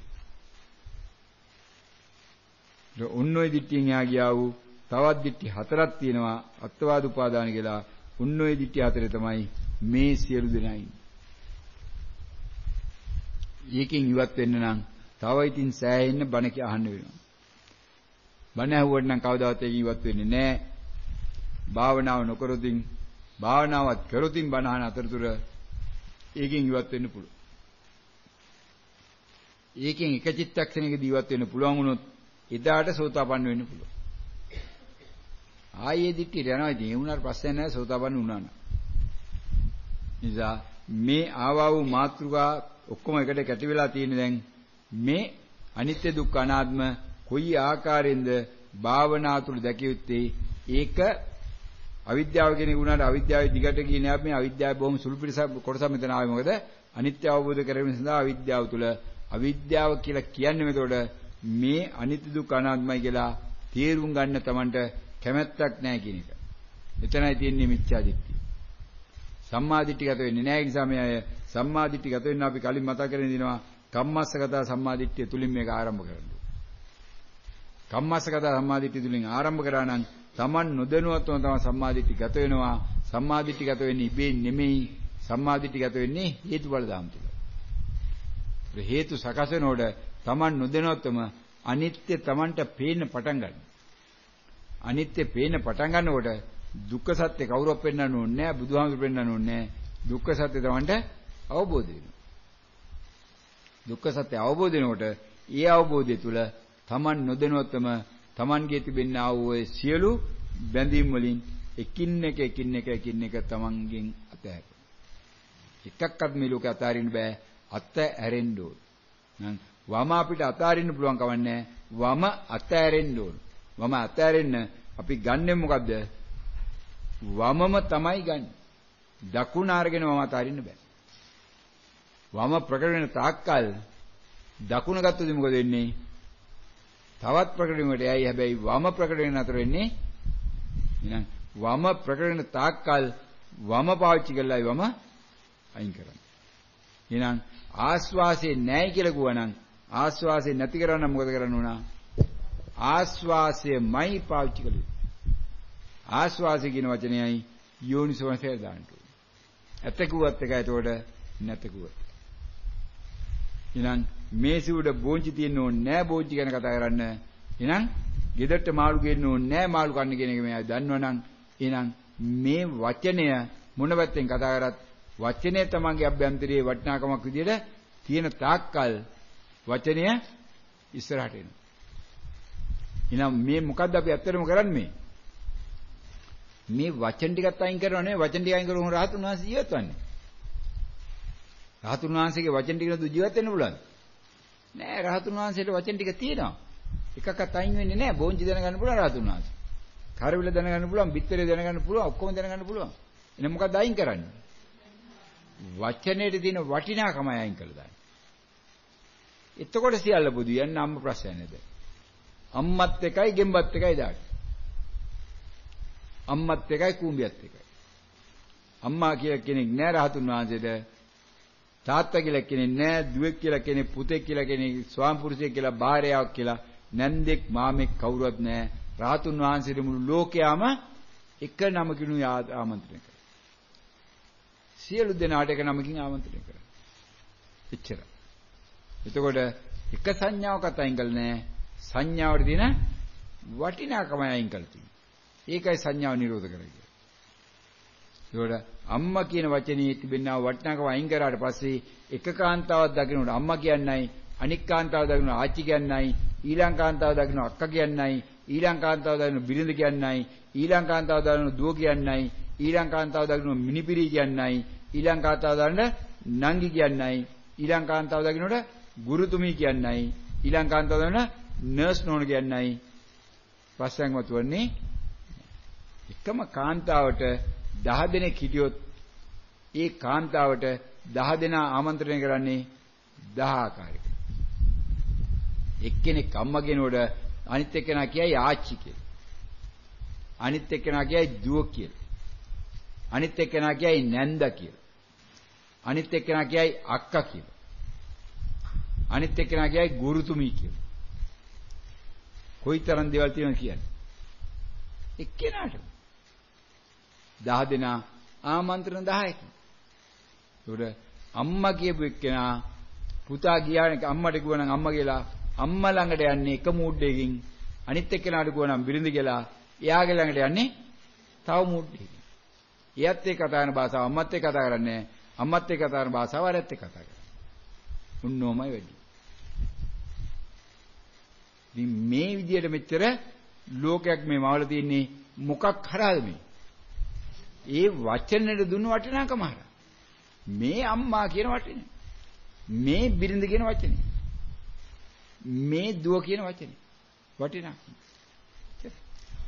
එහෙනම් ඔන්න ඔය වටිනාකමයි අපි දිය කරන්නේ ඒකයි වචනයක් බල දැනගන්න ආස්වාසයේ අතකුවත් එන වටිනාකම එකයි ආස්වාසයේ නැතකුවත් වටිනාකම එකයි සද්දේකුවත් වටිනාකම එකයි වේදනාවකුවත් වටිනාකම එකයි මොන වචනිකුවත් වටිනාකම එකයි එතකොට වචන ටිකක් විතරක් නම් කොයි වචනයක්වත් Tamanට වටිනාකමක් නැත්නම් Taman දන්නවා ප්‍රකට වෙන කලින්ම ප්‍රකට වෙන වචනයක් පමණයි නම් Tamanට ඇක්ෂන් එකක් ගන්න දෙයක් ප්‍රතික්‍රියා දක්වන්න දෙයක් නැහැ.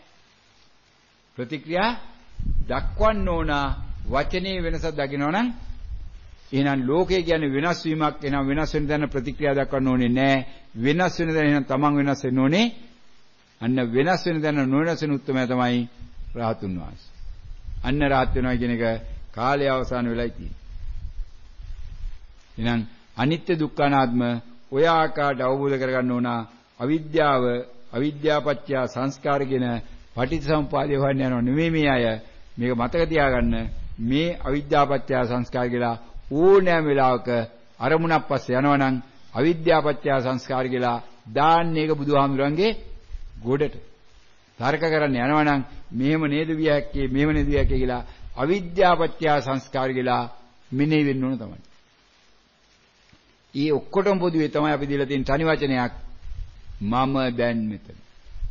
මොන තර්ක විතර්ක ආවත් මම දැන් මෙතන යන්න කියලා මෙයාට පුළුවන් නම් තමන්ගේ මානසිකාරය හදාගන්න ඕනෑම වෙලාවක භාවනාවට පෙර නැවත නැවත බණ මෙනෙහි කරනකොට මොන අරමුණේ හිටියත් මම මේ වචන 10න් එහා පැත්තේ යන්නේ නැහැ. වචන 10න් එහා පැත්තේ ආයේ එකම වචනේ තමයි මම දැන් මෙතන කියලා.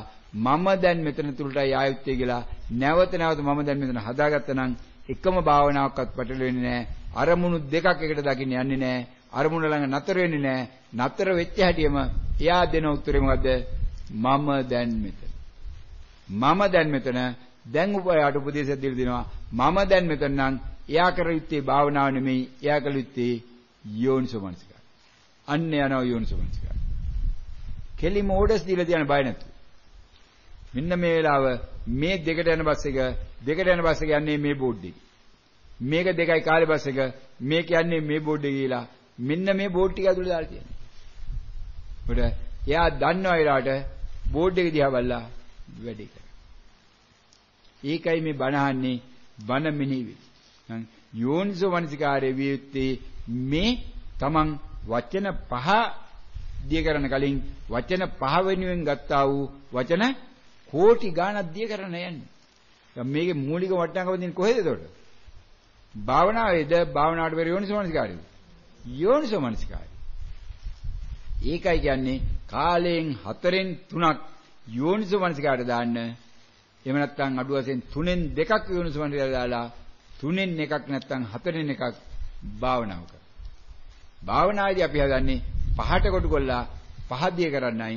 හැබැයි පහ ගන්න කෝටි ගාණක් උගස් තියලා තියෙන්නේ. එහෙනම් ඒ කෝටි ගාණ උගස් තියලා තියෙන එක අයින් කරන්නම් වැඩිපුර කාලයක් එකට දෙන්න. නැත්තම් රූපේ රූපේ විදියට ආවේ නැත්තම් මලත් වේවි, ගෙම්බත් වේවි, අම්මත් වේවි ආයි තමන් හිර වෙනවා. සද්ද සද්ද විදියට ආවේ නැත්තම් මේ වාහනේ වොන් ගැවුවා කියලායි කාක කෑ ගැවුවා කියලායි බල්ල බිරුවයි කියලා ආයි ගොඩක් ගොඩක් ඒවි තමන් හිර වෙනවා. හිරවිල්ල සියල්ල ඉවර මොකද්ද? මම දැන් මෙතන දැන් යෝනිසෝ මනසිකාරය කරනවා. අර කට්ටිය ඉවරයි. එහෙනම් තමන් නොදිනොත්වම යෝනිසෝ මනසිකාරය වෙලා තුලත් තමන්ගේ මොකද වෙලා තියෙන්නේ? අනන්ත සංසාරයක තුනා වූ අනන්ත සංඛ්‍යාවක් මේ ආශ්‍රයක්ෂය වෙලයි තියෙන්නේ. භාවනා පටන් ගන්න කලිනුත් අනන්ත සංඛ්‍යාවක් ආශ්‍රයක්ෂය වෙන මෙයාගේ හරියට යෝනිසෝ මනසිකාරය විතර කරත් භාවනා නොකර.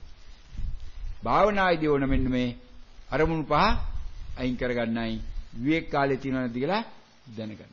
යෝනිසෝ මනසිකාරය යෝනිසෝ මනසිකාරය කළ තුලින් කරොත් ඒක දැනගන්න එතනක් පුළුවන්. කෙසේ නමුත් කාලේ විනාඩි 5ක් වැඩිපුර කියලා තියෙන නිසා මෙතනින් මේ ධර්ම දෙතර අනතර වෙනවා අනිත්‍ය දුක්ඛ අනාත්ම මේ මට්ටමේදී අවබෝධ කරගන්නේ කියන්නේ මේකයි. මේක පටලවා ගන්න එපා. ඉහළට ගියාම ඊට වඩා වෙනස් ආකාරයේ බණ කියවේවි. මොකද අනිත්‍ය දුක්ඛ අනාත්ම හරියටම අපි අවබෝධ කරගන්නේ පංච උපාදානස්කන්ධය හරහායි. මේ පංච උපාදානස්කන්ධ මට්ටමට යන්න බෑ තාම මෙයාට. තාම මෙයා ඉන්නේ රූපේ අල්ලගෙන රූපේ තුලයි ඉන්නේ. එන වම කියන එක නැත්නම් දකුණ කියන එක නැත්නම් සද්දේ කියන නැත්නම් ආස්වාද ප්‍රාස්වාස හරහායි මෙතන අනිත්‍ය දුක්ඛ අනාත්ම මෙයාට අවබෝධ කරගන්න පුළුවන්. හැබැයි මේ අවබෝධ කර ගැනීම ප්‍රමාණවත් මෙයාට සෝවාන් ඵලය දක්වා යන්න ඉන් එහා යන්න තව එහාට යන කාලේ තියෙනවා. ඒ සඳහා කරුණු වෙනම හොදාගන්න මෙතෙන්දි බලන්න මේ හරහා දුක කියන්නේ හැබැයි ශරීරය ඇතිවන්නා දුකක් නෙමෙයි. මේ දුක කියන්නේ අරමුණක් ප්‍රකට වීමයි. එහෙනම් අන්න ඒකයි අල්ලගන්න ඕනේ මේ අය. අල්ල ගත්තා නම් අනිත්‍ය දුක්ඛ අනාත්ම අවබෝධ කරගන්න පුළුවන්. ඒ හරහා සංසාරයෙන් ඈතර වෙන්න පුළුවන්. ඒ හරහා මේ පිටුන්ගේ අවිද්‍යාව ප්‍රහාණය වෙනවා. අවිද්‍යාව ප්‍රහාණය වෙනවා කියන්නේ මේ තණ්හාව ප්‍රහාණය වීමයි. ඒ හරහා ඉදන්නේ අවිද්‍යාව නැති වෙච්ච බව. ඒ හරහා මේ මාතුකා දෙකක් එකව දුනේ අවිද්‍යාව සහ අනිත්‍ය දුක්ඛ අනාත්ම කෝණ අවබෝධ කරගන්න කියලා මේ 2017 ජූලි 23 වෙනිදා සන්ධ්‍යාවේ එකට ආරම්භුණා වූ ධර්මදේශනයේ අවසාන වෙලා දැන් 3යි 5 වෙලා තිනවා දොරංගොඩ පිළිමිනාවත් මේ ස්ථානයේ පමිනා වූ මේ පින්නදුන් පැය දෙකකුත් විනාඩි 5 තිස්සේ තමන්ගේ සංසාරයෙන් ඉදිරි වෙනදා තමන්ගේ ප්‍රඥාව වර්ධනය කරන ධර්ම ශ්‍රවණය කරා ඒ අර ලෝකයට බණක් කියවලා මුළු ලෝකයටම ධර්ම බෙදාහැරලා ධර්ම දානයක් දුන්නා. දිබ්බුස දෙවරුන්ටත් YouTube තාක්ෂණය හරහා, Hangout තාක්ෂණය හරහා සහ Facebook කරා මේ ධර්ම මුළු ලෝකය තුල පවතිත අවුරුදු 2000 ගණක් අන්නේ කාලේ දක්වා මේ පිණුතුන්ගේ මේ කුසලයේ තියෙනවා. ඒ අරා මේ පිණුතුන්ට මේ මොහොතේම තමන්ගේ නිවන සාක්ෂාත් කරගෙන සඳහා තම තමන්ගේ ප්‍රඥාවම වර්ධනය වේවා කියලා අපි සාදුකාරයක් පවත්වමු. සියලු දෙනාටම නිවන් සප ලැබේවා.